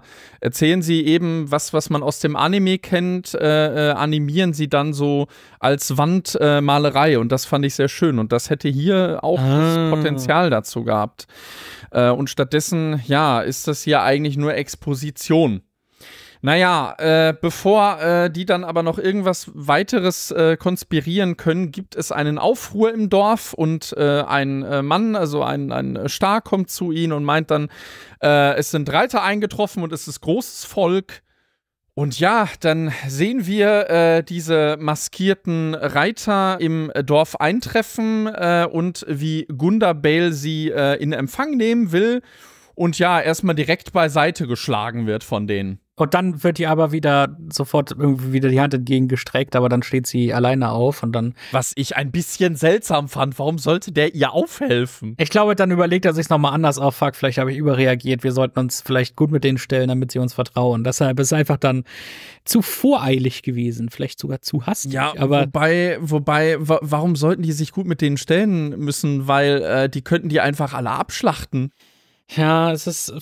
Es ist irgendwie nicht kenn, logisch. Ja, wir ja. kennen nicht hundertprozentig deren Beziehung. So oder so verlangen die aber, ey, wir glauben zu wissen, ihr habt hier diese zwei Haarfüße mhm. und wir hätten die gern wieder. Und falls er sie nicht ausliefert, dann werdet ihr herausfinden, warum wir Masken tragen. Genau, weil die haben ja irgendwie eine Art Fluch anscheinend. Äh, das, das wird ja schon, ich meine, es wird schon in äh, der ersten Szene mit, mit äh, Maybe Saruman angedeutet, dass das irgendwie ein Fluch auf denen liegt und dass die deshalb äh, maskiert sind. Also fast schon ein bisschen so Richtung äh, Lepra oder so vielleicht im schlimmsten Fall, ne? Ja, vielleicht finden wir es ja noch raus, genau. Und, ähm, Aber dass die sich so schnell dann wieder trollen, äh, weil ganz ehrlich, die haben die hier bedroht und sind eigentlich auch eindeutig, also haben eindeutig die Oberhand. Also warum gehen die wieder? Das war für mich nicht nachvollziehbar. Hm, ja, für den Das ist Moment. auch wieder so, um eine Action-Szene zu vermeiden, irgendwie so ein bisschen, ne? Also, weiß ich nicht. Ist, ist das Budget hier deutlich kleiner gewesen als bei Staffel 1? Ich weiß es nicht. Naja. So oder so, oder so sind die Haarfüße jetzt aber anscheinend erstmal sicher. Ja, warum auch immer. Wer aber äh, nicht äh, sicher ist, oder ja gut, äh, einstweilen sicher ist, äh, sind Elrond und seine Gefährten. Äh, die werden hier gezeigt. Das ist jetzt mittlerweile der Tag angebrochen. Die äh, übrigen äh, äh, Gefährten errichten im Hintergrund so eine Gedenkstätte, glaube ich, für den Toten. Genau. Und es kommt mal wieder zu einer Konversation zwischen Elrond und Galadriel. Und äh, die meint dann, ja, ich, ich, ich kann dich ja verstehen, du glaubst hier, dieser Ring, der führt mich in die Irre, der täuscht mich aber äh, ich habe eher das Gefühl, dass er mich leitet und vielleicht ist ja das sogar der einzige Weg zum Sieg. Das waren ja auch schon so äh, Textfetzen, die man im Trailer gehört hat, ne? Ah, und außerdem, jetzt sollte sie ja auch so ein bisschen dann, das, das sollte ihr auch so ein bisschen recht geben, weil ihr Ring, der Ring hat sie ja gewarnt, dass sie da nicht hätten lang gehen sollen. Ja, aber äh, ganz ehrlich, äh, hätte man, ich meine, andere wussten ja auch, glaube ich, schon um den Ruf dieser Hügelgräberhöhen und selbst auch dann äh, der Grabunholde. Da frage ich mich halt auch wieder so, also wird, wird der Ring hier irgendwie zu mehr hochgejazzt, als er eigentlich leistet? Und das ist halt wie, also das ist halt, was ich schon am Anfang meinte. Äh, Galadriel verlässt sich jetzt anscheinend nur noch auf den Ring und lässt sich jetzt eigentlich nur noch zum, ja, zum, zum willfährigen Befehlsempfänger davon machen, so ein bisschen. Hm, ja, sie hat schon eine ordentliche Vertrauensbeziehung zu dem Ding aufgebaut und letztendlich hat sie auch ihr geholfen jetzt in diesem, in diesem Bereich. Und ich glaube, die Grabunholde sind wirklich eher ein neues Phänomen, weil das eben durch den wachsenden Schatten von Sauron halt jetzt mit entstanden ist. Die, die, die, die wussten ja, äh, was das sind. Also die nennen die ja auch beim Namen. Das hätte man auch nicht unbedingt machen müssen, finde ich. Man, man hätte das viel, man hätte das viel diffuser, mysteriöser. Also das, das ist, glaube ich, so das Ding. Diese Serie, die traut sich nicht so richtig an äh, Mystik und, und irgendwie was, ja, einfach mal was, was Geheimnisvolles irgendwie heran. Und deshalb kommt auch nicht so, so richtig Stimmung auf. Naja, äh, Elrond ist dann aber doch noch eher zurückhaltend und meint, ja, äh, du, du und dein Sieg schön und gut, aber äh, was ist eigentlich, wenn der Preis für den Sieg zu hoch ist? Sprich, dass äh, wir uns selber verlieren durch diese Ringe, indem wir sie benutzen. Elrond ist dann auch überrascht, dass, dass ihr das keine Angst macht, worauf sie dann so kontert, ja, also äh, das hin und her, aber äh, die Vorstellung einer Welt, die von Sauron beherrscht wird und das Leid, das damit einhergeht, das macht mir deutlich mehr Angst. Ja. Und, und während sie früher das Gefühl hatte, dass sie, dass sie spüren konnte, dass irgendwas nicht stimmt, kann sie es jetzt durch den Ring äh, förmlich sehen. Also sie hat ja, hat sie ja schon gesagt, sie hat diese Eingebungen äh, von der unsichtbaren Welt, ne? Und äh, hier sieht man auch an der Umgebung, dass sie in England sind, eindeutig. ja, aber sowas von. Also das hier hat, ja, ja, ich meine, gut, das ist ja, das ist ja auch irgendwo in Ordnung, ne? Also. Ja, absolut. Also es ist auf jeden Fall so ein typischer nebelfahrender, feuchter Laubwald, wo sie sind. Und das ist einfach sehr englisch. Elrond kommt dann auch noch äh, darauf zu sprechen, dass äh, sein Vater, also Eärendil, äh, wir erinnern uns ja, der Seefahrer, äh, der jetzt mittlerweile ein Stern geworden ist, klingt alles ein bisschen komisch, aber hört gerne in die Recaps zur ersten Staffel rein, dass der schon vorhergesagt hätte, und das wurde ja auch schon von Celebrimbor in Staffel 1 erwähnt, dass äh, Celebrimbors Leben eines Tages in Elrons Händen liegen würde. Hm. Und äh, wie, wie, wie ist das dann? Oh, der, der ist ein bisschen, bisschen verschwurbelt, was er von sich gibt. Also ich, ich äh, rekonstruiere es jetzt mal aus meinen Notizen. Er wird den Weg einschlagen, den er muss, um die beste Hoffnung zu haben, es zu schützen. Also das Leben von Celebrimbor.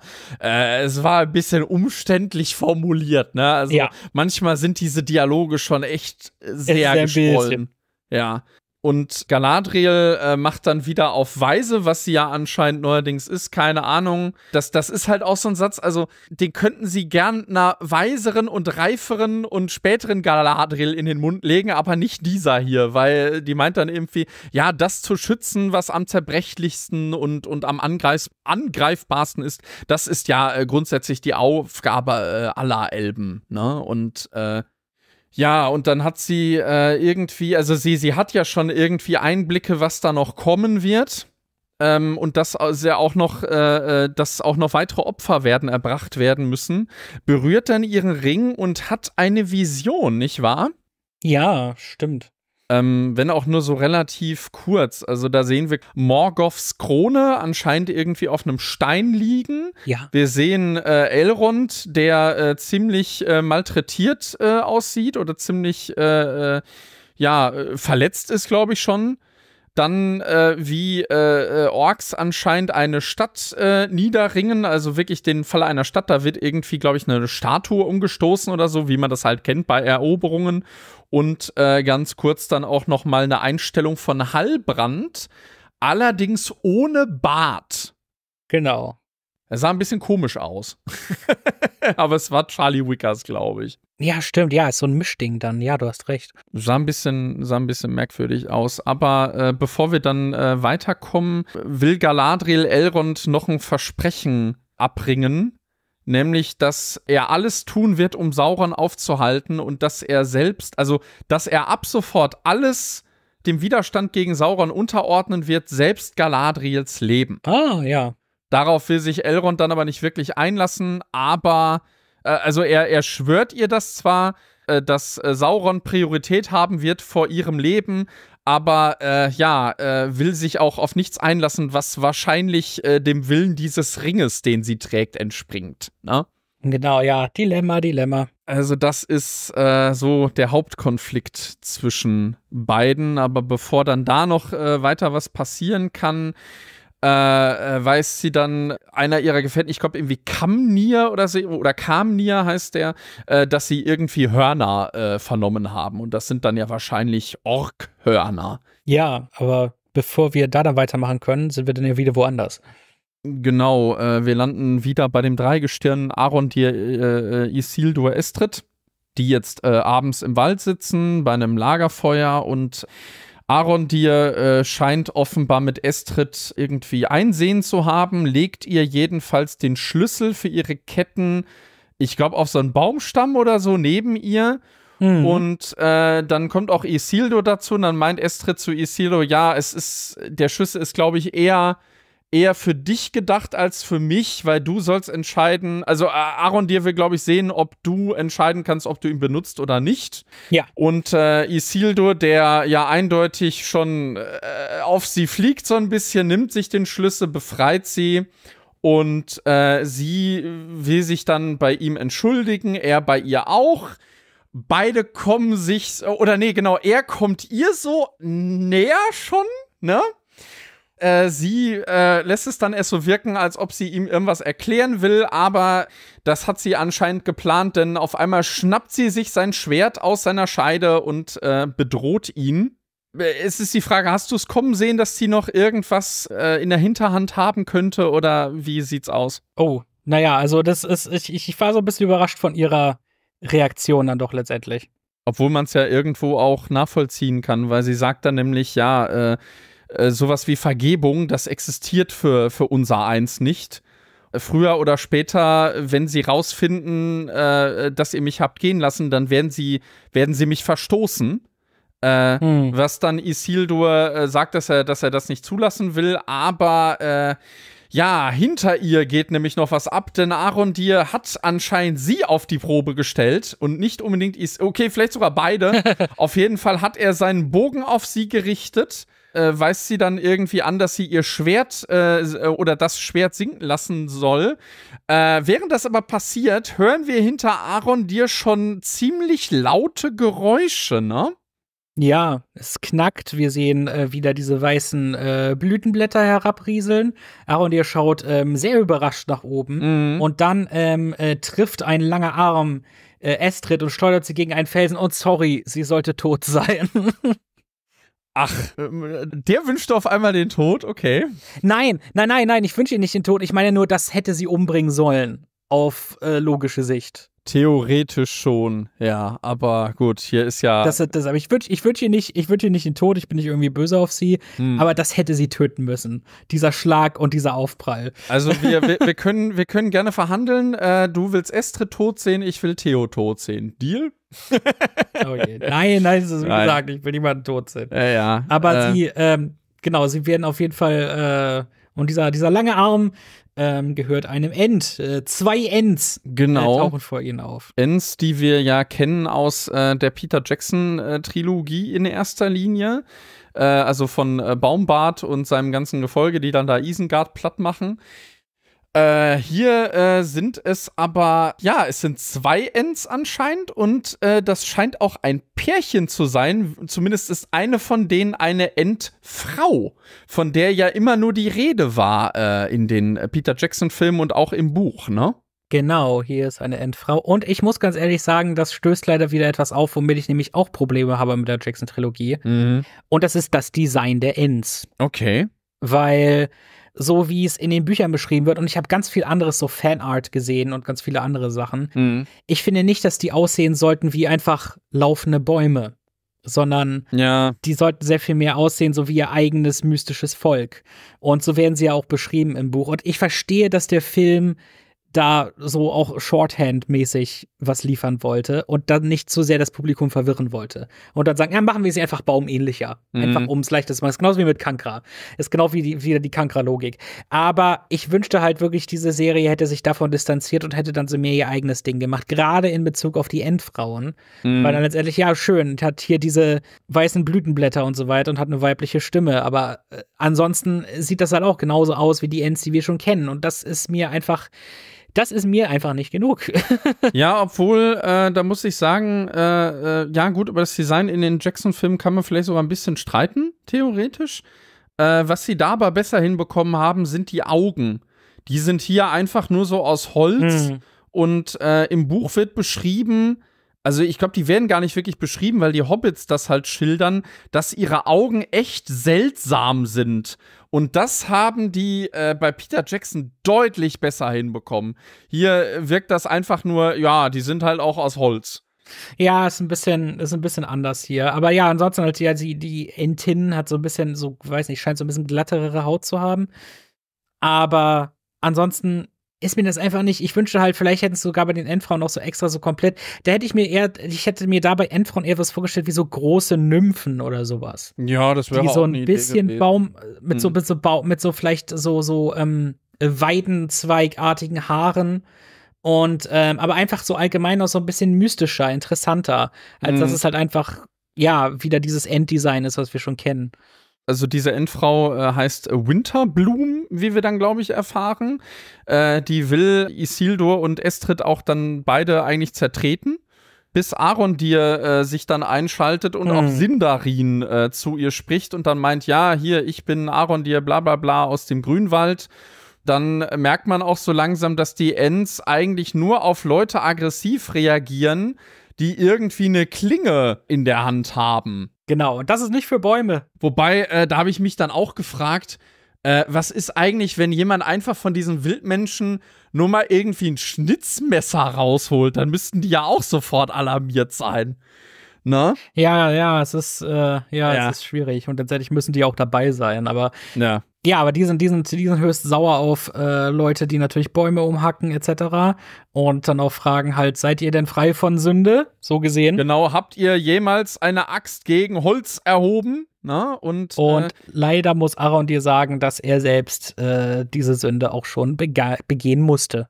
Ja, was nicht gut ankommt bei Winterbloom, die um sich schlägt. Aaron dir wird dann an so einen äh, Baum gedrängt, äh, der sich dann als weiterer End entpuppt, dem Aaron dir dann auch relativ ausweichen muss und die sehen dann auch sein Schwert.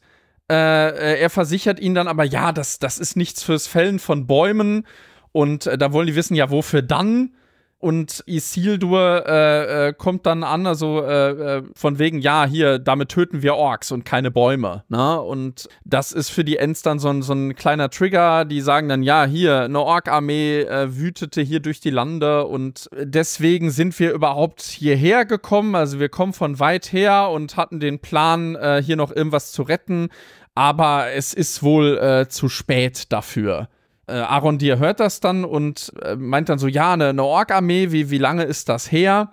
Und ähm, die Ents sind dann aber, äh, naja, das ist bei denen halt noch alles sehr frisch, ne? Und da zitieren sie dann auch was aus dem Buch. Also, ich glaube nicht wortwörtlich, aber so diesen Spruch von Baumbart aus dem äh, zweiten Herr der Ringe-Film mit Geschöpfe, die ich von Nuss und Eichel ankannte, ne? Also die Bäume. Ja, genau. Und, äh, ja.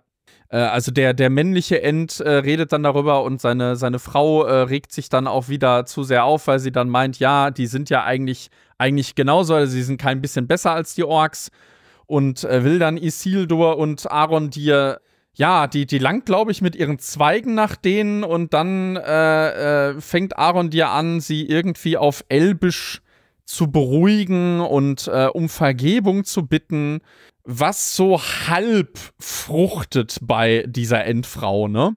Im wahrsten Sinne, weil sie gibt ihm ja dann eine Blüte von ihrem Körper und dann sagt sie, äh, Forgiveness takes an age, Genau. was äh, auch einer der Tracktitel auf dem äh, Soundtrack ist. Ja, und auch schon, die Szene war auch schon im Trailer zu sehen, also sprich, äh, Vergebung äh, äh, braucht ein Zeitalter lang, ne? Und Aaron Dir will dann ihnen zusichern, dass die Bäume dieses Waldes, dass die, dass die in Frieden bleiben können. Und äh, dann wirft Isildur ein, ja, meinst du, dass sie überhaupt wissen, was, was, was Frieden ist? Und äh, dann halten beide Ends halten dann, glaube ich, einen Monolog darüber, ja, Frieden ist für sie, wenn nach einer stürmischen Nacht die, die Dämmerung still einsetzt und die Vögel erwachen und, und äh, dass sie sich schon immer um diesen Wald hier gekümmert haben, bevor dann die, die, die Berge dann äh, aufkamen und sie dann getrennt haben. Aber ja, sie haben eine Vorstellung von Frieden, meinen sie damit dann, ne? Ich glaube, die Hand, halten sogar Händchen dann auch, die, die Ents, ne? Ja, ich glaube. Okay, das ist dann schon ein bisschen kitschig, aber ja, ist okay. diese Friedensumschreibung fand ich sehr schön. Ja, die fand ich Ähm, auch schön. Ansonsten, Ja. ansonsten bin ich kein Fan von dieser Szene, ehrlich gesagt. Oh, das wundert mich. Ja, ja, weil letztendlich, ich weiß nicht, das, das wirkt ein bisschen jetzt hier die Ends zu haben, das wirkt auf mich, das wirkt für mich irgendwie zu sehr. Dass irgendwann Ends auftreten in der Serie ist fein. Mhm. An dieser Stelle hier finde ich es irgendwie ja nutzlos halt. Das, das hätte man irgendwie auch anders lösen können. Also wenn wir, wir brauchen jetzt und hier keine Ends. Ja. Ähm, und das, das wirkt, und in einer Folge, wo es eh schon halt diese ganzen Fanservice-Momente gibt, ist das hier dann Mhm. vielleicht, das ist für mich dann vielleicht das Quäntchen zu viel. Und, ähm, und wie gesagt, ich bin halt auch enttäuscht davon, dass sie sich dann doch nicht mehr getraut haben mit dem Design der Ends. Ja, obwohl überraschend tut mich das jetzt nicht, weil wir hatten ja schon in Folge 3 festgestellt, dass sie einfach zu sehr an den Jackson-Filmen und äh, deren Ikonografie kleben, einfach, ne? Hm, ja, wohingegen, weiß nicht, hier und da trauen sie sich was und hier und da dann eben aber auch nicht, leider. Es ist, äh, Ja. äh, ist schwierig. Ja, aber ich bin äh, letztendlich, die Szene war mir relativ, äh, wo ich dachte, äh, ich, ich, bin, ich bin hier nicht wirklich emotional involviert. Es ist schön gespielt, es ist auch schön gevoice-acted. Ich weiß nicht, wer die beiden Sprecher und die Sprecherinnen sind, aber ich, ich glaube, Ja, können wir leider noch nicht sehen. Nee. aber ich, ich fand die sehr gelungen und die klangen irgendwie auch bekannt. Also irgendwie kamen die mir bekannt vor. Ich glaube, die haben da irgendwelche Namen sich dafür geholt. Auf IMDb ähm, gibt es jedenfalls noch nichts, wenn ich das richtig gesehen habe. Okay, ja, da ist dann nur, ah, da ist zu wenig bekannt. Äh, ja, gut, oh Gott, hier stehen nur Sea Guards. Okay, alles klar. Äh, und die haben ja wahrscheinlich überhaupt nichts damit zu tun. Äh, nee, also diesen, diesen Monolog fand ich durchaus schön. Es war jetzt Mhm. auch nicht so, also, ja, ich meine, wenn Baumbart da am Singen ist im, in, in die zwei Türme, dann denkt man sich auch so, ja, worüber kann der denn jetzt wohl singen? Ach ja, Bäume und Laub und Blätter und was weiß ich. Da fand ich das hier schöner. Auf der anderen Seite hatte es auch nicht so wirklich Mehrwert, dass es jetzt ja auch dann eine Endfrau war, ne? Ja, es ist einfach nur halt, ja, weil wir bisher noch keine Endfrau gesehen haben. Hier, bitteschön. Also man, man kann ja theoretisch was daraus machen, vielleicht noch in späteren Staffeln, weil im Extended Cut von äh, Die zwei Türme deutet sich das ja an. Man, man muss wissen, einfach im Buch und auch im Film wird zumindest angedeutet, das Dilemma der Ents ist irgendwann, dass sie die Endfrauen verloren haben und dass sie die nicht wiederfinden können. Hm. Und das könnte die Serie dann theoretisch weiterspinnen. Ja, wie, wie, wie kam es denn dazu? Wobei ich das auch ehrlich gesagt immer als kleinen Gag von Tolkien empfunden habe, weil ich habe mir gedacht, äh, wahrscheinlich wird es so sein, dass die ab einem bestimmten Punkt äh, wortwörtlich den Wald vor lauter Bäumen nicht mehr gesehen haben, Hm. sprich, dass die ihre Frauen auch wiederum für Bäume gehalten haben könnten. Ja. Oder dass die irgendwann abge abgehauen sind, sonst was. Ja. Und er fragt ja auch, ob es vielleicht im Auenland welche gibt und vielleicht sind ja irgendwelche da in den entlegenen Winkeln. Ja, ich meine, wenn das die Serie beleuchten will, ist fein. Ähm, aber das, Mhm. letztendlich ist das ein Aspekt, den ich nicht sonderlich interessant finde momentan. Ja, vielleicht hätte man sich das äh, aufsparen können. Auf jeden Fall äh, sehen wir dann, dass äh, also Theo und äh, die anderen äh, wilden Menschen kommen hier frei. Ah, ja gut, ob sie den Plot. Ah, ich muss sagen, dieser ganze Plot ist echt so ein bisschen. Ich weiß nicht, da hätte man sich mehr auf das mit Estrid konzentrieren müssen, finde ich. Also wenn man, wenn man schon diesen ganzen Plot haben muss mit Isildur, dann hätte, glaube ich, das, also das hier, das wirkt halt echt so wie Filler. Vor allem fällt mir dann halt auch wieder auf, jetzt auch äh, konsequent fortgesetzt aus der ersten Staffel, die etablieren einen Konflikt und der wird entweder noch in derselben Folge aufgelöst, auf eine ziemlich einfache und schnelle Art und Weise oder aber dann schon irgendwie zwei Folgen später. Also die schaffen es nicht, Konflikte wirklich aufzubauen, äh, äh, zu halten und dann irgendwie auch daraus Spannung zu generieren. Das schafft die Serie in meinen Augen wirklich überhaupt nicht. Ja, Äh, und das setzt sich hier nahtlos fort. Ja, aber äh, da kommt ja dann nicht nur Theo an, äh, der dann Arondir schon äh, dankbar dafür ist, dass er ihn jetzt gerettet hat. Und äh, Arondir meint dann aber, ja, ich, ich hab's versprochen und ich habe ja auch noch was, was, was anderes versprochen, äh, beziehungsweise ich habe noch ein anderes Versprechen zu halten. Also Theo äh, soll, soll mitkommen, weil, ähm, also Arondir wittert jetzt die Möglichkeit, die Orks zu finden und eventuell doch noch Ada konfrontieren zu können. Also sprich, dass er äh, das äh, äh, einlösen will, was woran er in der ersten Staffel gescheitert ist. Und er bietet dann an, Theo mitzukommen, worauf der dann meint, ja, ich habe da auch noch Versprechen zu halten. Das klingt vielleicht im Dialog schön pathetisch und getragen, aber ich fragte mich dann, äh, was denn bitte? Also wem, wem ist Theo denn hier irgendwie verpflichtet, sage ich mal? Ich weiß nicht, vielleicht halt, we- weiß nicht, ob da, da irgendwie auch die, dann die Anspielung mit auf seiner Mutter ist, aber ja, ich bin mir nicht hundertprozentig sicher. Aber so verlassen wir dann halt erstmal diese Charaktere. Ja, bis auf, äh, es gibt ja noch das zwischen Isildo und Estrid. Hm. Also die, die kommen ja dann da auch zusammen und äh, die anderen Menschen kommen ja dann auch frei. Darunter ist einer namens Hagen. Ja. Also wirklich wie Hagen von Tronje. äh, und äh, der ist anscheinend ihr Verlobter äh, und die umarmen sich dann auch. Und für Isildo ist das schon ein ordentlicher Dämpfer, weil äh, als er dann zu Estrid kommt, sind die fast kurz davor, sich zu küssen eigentlich. Hm. Äh, bis dann eben Hagen dazwischen kommt und Isildur dann sich relativ enttäuscht trollt. Das muss ich sagen. Tat mir fast ein bisschen leid. Also alle Figuren interessieren mich jetzt nicht so wirklich, aber äh, das war schon irgendwie. Ja gut, von Estrid war es jetzt nicht ein Dick-Move, aber das ist wirklich so so ganz typisch. Ach, da ist dann doch noch ihr Verlobter und so, ne? Ja, es ist, und ich meine, das ist eben auch eine Situation, die sehr relatable ist und deshalb können wir uns dann gut darauf einlassen. Äh, wir kommen dann auch schon, äh, ich meine, zur letzten Szene.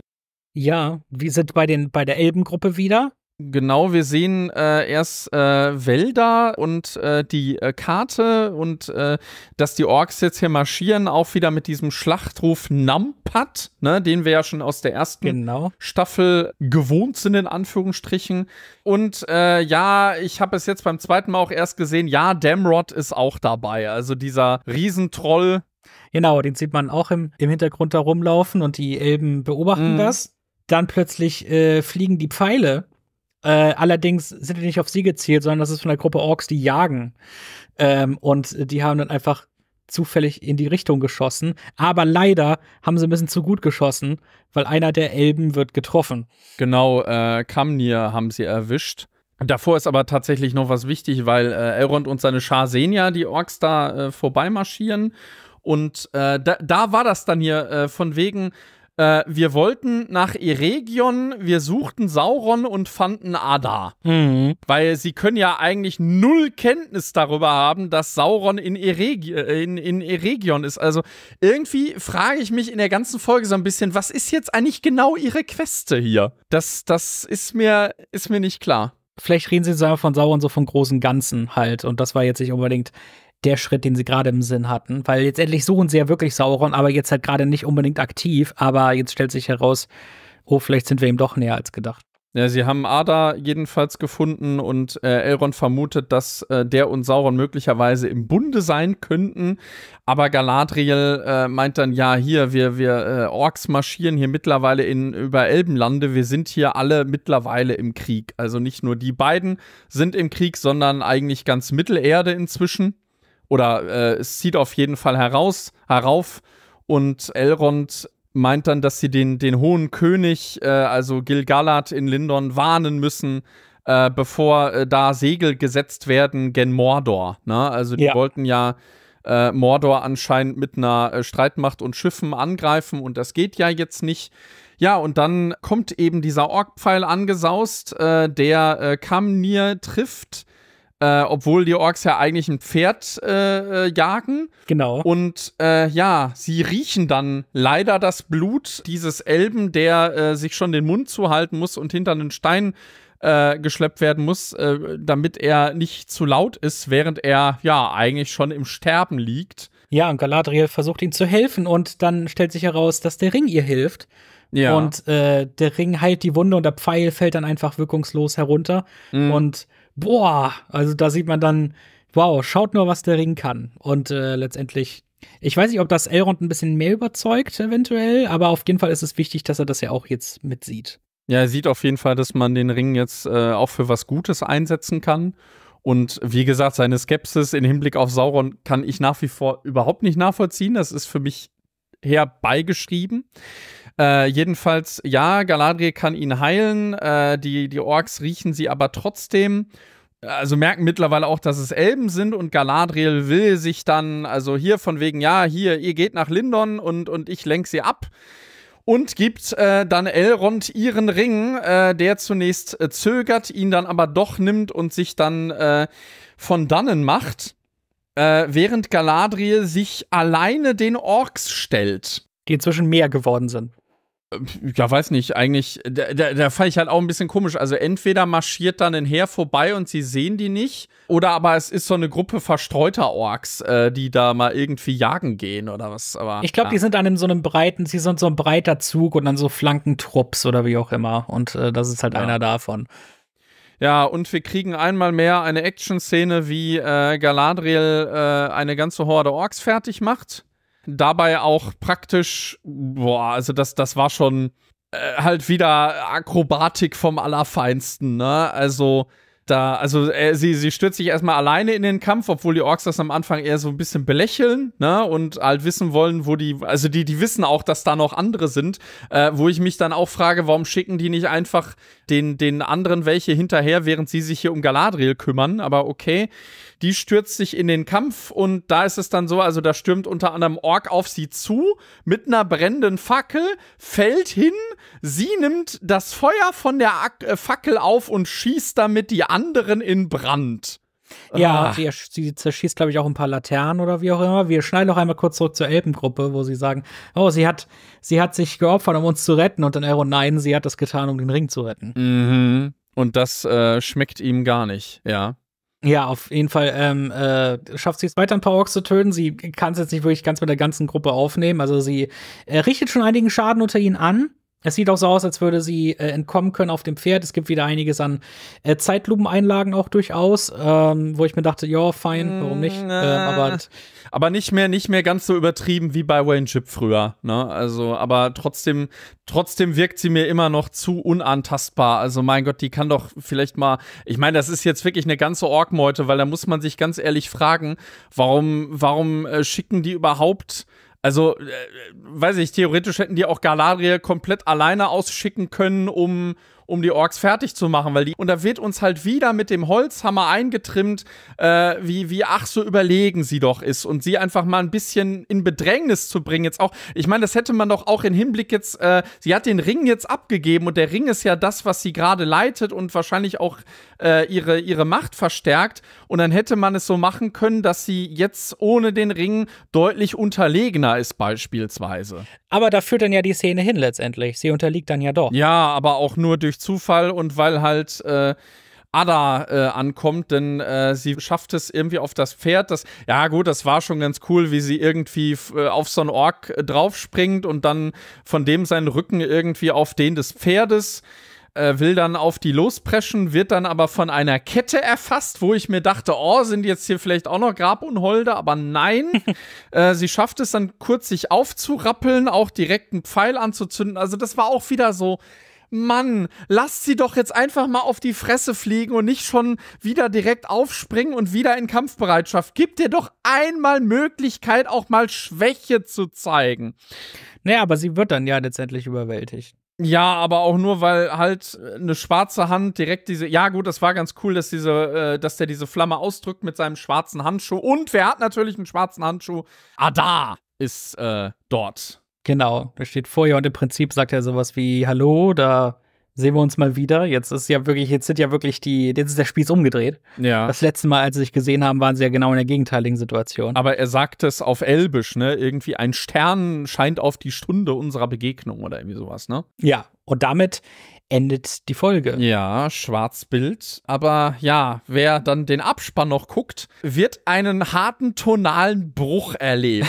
So hatte ich mir das nicht gewünscht. Weil man würde nämlich, äh, man, man würde nämlich jetzt zum Beispiel erwarten, dass hier irgendwie, weiß ich nicht, irgendwas Düsteres zu hören ist, irgendwas von Ada, äh, notfalls auch dieser Orkmarsch Nampert. Aber nein, äh, wir sind ja in der Folge, die Fanservice per Excellence ist. Und deshalb hören wir im Abspann die, äh, ja, gesungene Ver oder die lang gesungene Version des äh, Tom Bombadil-Liedes, was äh, von der Tonalität hier wirklich überhaupt nicht reinpasste. Es ist wirklich nicht, ich finde, es ist ein, das ist auch ein Song, der als Promo veröffentlicht wurde. Ich finde den Song wunderschön, aber das hätten sie sich für eine andere Folge aufsparen sollen. Nämlich das Problem ist, die letzte Begegnung mit Tom Bombadil liegt jetzt innerhalb dieser Folge schon eine ganze Weile zurück. Ja. Und so Casual Viewers haben den nicht mehr wirklich auf dem Schirm, glaube ich. Und jetzt haben wir diese, diesen, dieses düstere Cliffhanger-Ende. Und es ist halt wirklich, und es ist dieser komplette Clash, wo man halt im Prinzip, aha, hier bin ich, der große Böse, und ich hab dich in deine Gewalt. Schnitt. Now let the song Ja. begin. Aber weißt du, anstatt hier Numbot. Nee. Plötzlich sind wir bei, bei Bombadil, äh, äh, obwohl ich muss, ja, ich weiß nicht, nee, hier habe ich es noch nicht gesagt. Also, ich finde den, ich, ich find den Song an sich okay. Der Text ist ja eins zu eins von Tolkien. Äh, ich finde es von Bear McCreary tatsächlich ein bisschen sehr äh, äh, groß irgendwie aufgemacht, weil Tom Bombadil ist ja eigentlich mehr so.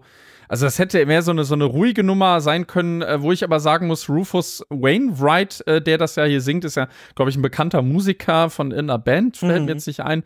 Äh, die Stimme hat schon was irgendwo, muss ich zugeben. Ja, das ist sehr, es, es klingt sehr folky und, und schön. Ich wünsche halt nur, es wäre hier jetzt in einem anderen Kontext. Das war, das war leider dann doch sehr ungeschickt. Und man kann sowas machen mit so einem tonalen Gegensatz, aber in diesem Fall hier hat es für mich nicht funktioniert. Nee, wirklich gar nicht. Das, das, das passt wirklich null in die Stimmung. Ich meine, hier soll ja, hier soll ja Spannung aufgebaut werden und dann soll man sich ja denken, oh mein Gott, Galadriel, wird sie das überleben?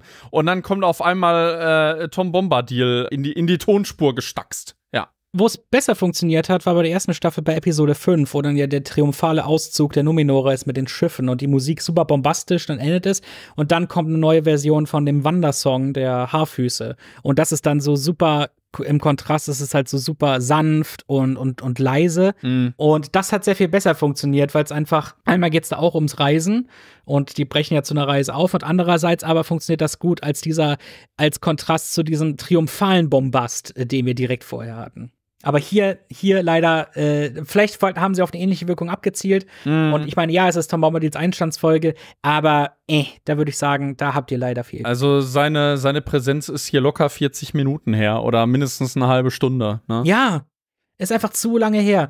Die hätten, wenn schon, wenn ihr das mit dem Song beenden wollt, und das sollte auch nicht die Priorität haben. Ihr solltet die Folge so enden, wie es irgendwie dann am besten dramaturgisch passt. Und ich finde, das ist hier gut gewählt. Mhm. Ähm, aber wenn ihr dann euch am Ende noch mal auf Tom Bombadil beziehen wollt, dann hättet ihr ihn lieber dann auch noch mal am Schluss auftreten lassen sollen. Ja, äh, bei uns ist es natürlich auch schon eine Weile her, dass wir über Tom Bombadil gesprochen haben. Jetzt ist dieser Podcast hier doch wieder länger geworden, als ich dachte, aber das ist ja hier nur eine Einzelfolge und äh, kein äh, äh, mehrstündiger Brecher, wo wir über drei Episoden in einem sprechen. Aber damit äh, sind wir hier am Ende von Folge 4 und damit auch so jetzt, ja, tatsächlich schon auf der Hälfte der Staffel. Ich kann das echt kaum glauben. ja, und äh, deswegen, weil du ja jetzt auch in den äh, Episoden dann erstmal nicht mehr mit am Start bist, also Folge 5 und 6, äh, würde ich dich bitten, zum einen ein Fazit zu ziehen zu dieser Folge und auch so ein Zwischenfazit zu der Staffel insgesamt bisher. Ja, also, ähm, ich fand jetzt die Folge 4 ziemlich cool, größtenteils. Halt, wie gesagt, das Einzige, was mich wirklich gestört hat, war tats- tatsächlich die Anwesenheit der Ends, weil ich es nicht Mhm. wirklich interessant fand. Ansonsten fand ich es äh, schön mit Tom Bombadil. Wie gesagt, ich war doch ziemlich äh, verzückt äh, von dem ganzen Zeug. Nicht optimal gelöst, aber hey, innerhalb äh, dieser Serie fein. Mhm. Hier und dort habe ich mich für Dinge dann etwas weniger interessiert, als ich gedacht hätte, weil ich mich auch wieder auf so neue Halblingsvölker gefreut hatte und das äh, hat hier bei mir nicht so die absolute Priorität eingenommen. Aber ansonsten fand ich es einfach, ich fand's, ich fand's abenteuerlich, ich fand's äh, teilweise ganz stimmungsvoll gemacht und nach wie vor halt äh, schön gespielt und auch natürlich die ähm, und inszeniert und halt auch die mit der Musik und so weiter war das war das alles schön. Ja, also das das hier fand ich jetzt so ein bisschen cooler noch als Episode 2 und 3, aber ähm, Folge 1 dann hat noch ein bisschen äh, immer noch die Nase vorn und ähm, insgesamt ja, jetzt so seit nachdem ich nach der Hälfte durch bin, ich bin froh, dass ich jetzt noch die Hälfte vor mir habe. Ich kann mich dann auch noch auf was freuen nach dem Urlaub. Mhm. Und äh, ich bin nach wie vor sehr aufgeregt und äh, freue mich ganz doll, da noch äh, alles ein weiteres Mal zu schauen, noch ein bisschen mehr zu erforschen und natürlich auch dann in die weiteren Alben reinzuhören, die noch kommen. Also ich bin nach wie vor äh, extrem happy und äh, freue mich auf alles weitere. Ja, also ist auch so dein, dein äh, Zwischenfazit äh, zu der ganzen Staffel, ne? Okay. Ja, äh, ich bin, wie man es natürlich rausgehört hat, äh, schon etwas deutlich zurückhaltender. Also die Folge hier an sich, ja, also äh, jetzt so beim zweiten Mal, ähm, die und die dritte und die zweite, die tun sich für mich irgendwie nicht viel. Also die erste ist immer noch die beste auf jeden Fall. Und die hier war, boah, ja, so manche Sachen fand ich ganz nett, aber es ist jetzt wirklich schon sehr forcierte Fanservice-Parade. Also das ist wirklich, die, die gehen das hier wirklich äh, äh, teilweise wie auf so einer Checkliste ab, habe ich das Gefühl. Ich finde halt auch, also ich habe ja oft gesagt, dass sie an vielen Stellen auch Potenzial verschenkt haben. Äh, für mich äh, ist auch, also das zieht sich bisher auch so durch die ganze Staffel. Äh, für mich wirkt vieles einfach wieder sehr unmotiviert.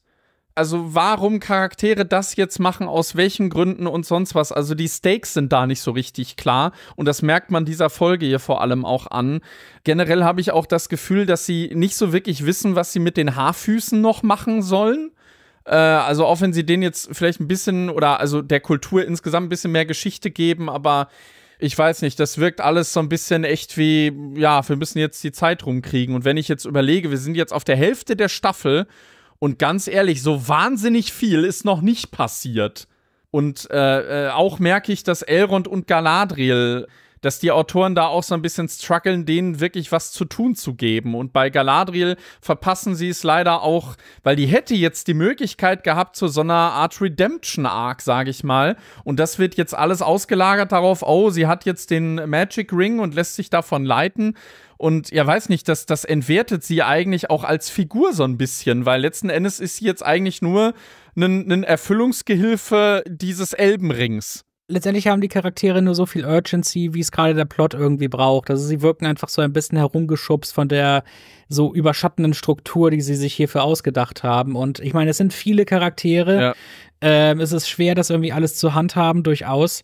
Ähm, es gibt äh, andere Serien, die das vielleicht ein bisschen geschickter hingekriegt haben. Und es ist hier allgemein so ein bisschen einfach nur, habe ich hier das Gefühl, wir, wir, wir baden einfach jetzt ein bisschen in der Lore und ähm, äh, ergänzen das hier und dort mit so, so äh, eigenen Ideen, mit denen wir die Lücken füllen und so. Und da, dagegen habe ich an sich so gar nichts. Ich finde äh, ich, ich, ich finde es auch nicht schlimm, dass es jetzt alles nicht. Teilweise wirkt es ein bisschen gerascht, aber teilweise finde ich es schön, dass sie auch so ein bisschen sich gerade so, so und jetzt sind wir hier und wir viben einfach mal ein bisschen. Mhm. Ähm, und ich finde nach wie vor immer noch ähm, die Besetzung größtenteils sehr gut und einnehmend, aber es gibt halt einige Plotstränge, die mich mehr interessieren als andere. Ja, gut, das ist nicht ungewöhnlich bei Serien. Also selbst bei Game of Thrones oder was, da äh, bist du dann auch eher so, ah, jetzt schon wieder Aria in den, in den äh, Häusern der, der hier Schwarz und Weiß oder was, ne? Also das, das äh, tritt ja auch so ein bisschen auf der Stelle bei äh, in, in, Game of Thrones. Also ich, ich war am Anfang der Staffel ja wirklich hoffnungsvoll, dass es jetzt hier besser wird und gerade die erste Folge fühlte sich auch für mich an wie eine Kurskorrektur. Das ist hier zwar auch noch vorhanden, allein schon, dass Galadriel nicht so wirklich die Hauptfigur mehr ist, aber ein Stück weit fragt man sich zumindest jetzt in diesen ersten vier Folgen, ja, wer ist jetzt hier eigentlich genau die Hauptfigur? Und das weiß die Serie, glaube ich, selber nicht so richtig. Und äh, auch die, die ganzen Plots, die sie dann aufmachen, wie gesagt, sie, sie nutzen nicht wirklich Potenzial, was da wäre. Sie schaffen es auch nicht, Konflikte oder irgendwie sonst was zu halten. Und Konflikte sind nun mal das, was einen Plot antreibt. Äh, wobei ich aber noch sagen muss, hier damit Estrid, da hatte ich noch mal nachgelesen. Und es wird ja auch schon angedeutet, ne, dass Isildo wahrscheinlich mit der anbandeln wird. Und es ist wohl tatsächlich so in der Lore, dass Isildur äh, eine Frau unbekannter Herkunft heiratet. Also das haben sie hier vielleicht. Ah, okay. Vielleicht äh, betten sie das hier irgendwie noch ein bisschen ein. Also da, da muss man sagen, da machen sie schon eigentlich das, was, was äh, Tolkien eigentlich auch schon äh, zu Lebzeiten kommuniziert hatte, nämlich dass er bewusst Lücken in seiner Lore gelassen hat, die andere gerne füllen dürfen. Äh, wie das dann aussieht und wie das umgesetzt ist und wie es dann geschrieben ist, das steht sicherlich auf einem anderen Blatt. Also das ist jetzt hier auch nochmal ein Appell von, von mir an Leute, die behaupten ja, Tolkien rotiert ja bei der ganzen Serie im Grab, was sie hier aus seinem Werk gemacht haben und dass das ja gar nichts damit zu tun hätte. Also das stimmt auch nicht. Wie es, wie es umgesetzt ist, darüber kann man streiten. Ich habe auch wirklich viel an der Serie zu kritisieren, wie man jetzt hier merkt. Aber äh, dass das wirklich überhaupt nichts mehr damit zu tun hat, das stimmt wirklich de facto gar nicht. Und äh, zumindest, wie gesagt, zumindest auf dem Blatt Papier äh, lassen sie sich durchaus von dem inspirieren, äh, wo äh, Tolkien gesagt hat, da dürfen gern andere kommen und das weiter ausfleischen, was ich als Fundament dargelassen habe. Also das beste Beispiel dafür ist ja Ruhen, mm. ne, wo mhm. ja wirklich bei Tolkien nahezu wirklich gar nichts vorhanden ist. Und ja, das lässt dann vielleicht auch fast schon ein bisschen zu viel Spielraum äh, für, für äh, Schreiberei. Aber Lirum Larum, ja, ich fand die Folge äh, irgendwo noch okay, sagen wir es mal so. Aber für mich ist, also es ist nicht so, dass jetzt ein rapider Abwärtstrend ist, äh, genau gespiegelt gegenüber der äh, äh ersten Hälfte bei Staffel 1 bei mir aber ja, es, es ist nichts, was mich so richtig mal begeistert tatsächlich. Und das gab es in der ersten Folge, Stichwort Au äh, Auftakt und auch hier die, äh, das Lied von Benjamin Walker. Also ist es nicht so, dass ich nicht begeisterungsfähig bin und dass ich der Serie keine Chance gebe. Ne? Ja, nein, absolut. Nee, du bist, äh, nein, du, du, du bist äh, aus, äh, von, von deinem Standpunkt aus bist du sehr fair. Ja.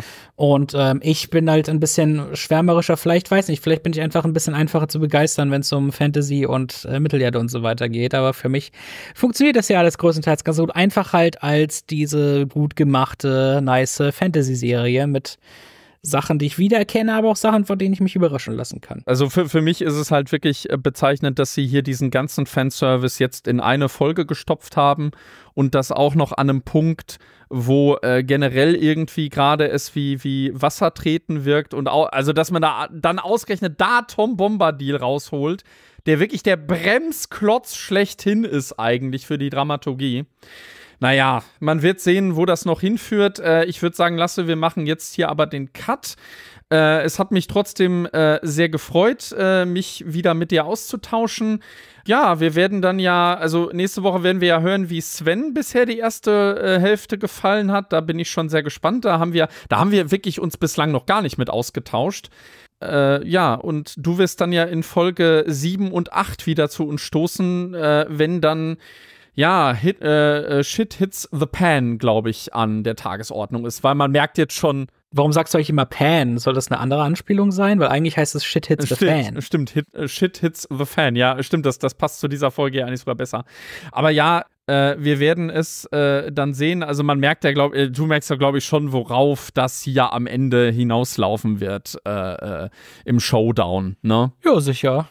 Letztendlich muss man dann halt schauen, was da noch so alles passiert. Aber ich freue mich schon ganz doll. Ich bin froh, dass ich jetzt noch die Hälfte vor mir habe. Okay, dann äh, würde ich sagen, sind wir hier am Ende. Ihr da draußen könnt uns natürlich gerne schreiben, wenn äh, ihr eventuell noch mehr äh, Einblicke in die Lore habt oder äh, euch Details etc. aufgefallen sind. Äh, ihr könnt auch gerne kommentieren, wie ihr unseren äh, Podcast fandet. Haben wir irgendwas vergessen? Haben wir irgendwas falsch verstanden etc. Lasst uns das gerne wissen, ob nun äh, in den Kommentaren äh, beim YouTube-Upload oder auf tele-stammtisch.de. Da könnt ihr auch gerne mal vorbeischauen. Ja, und ansonsten würde ich sagen, sind wir durch.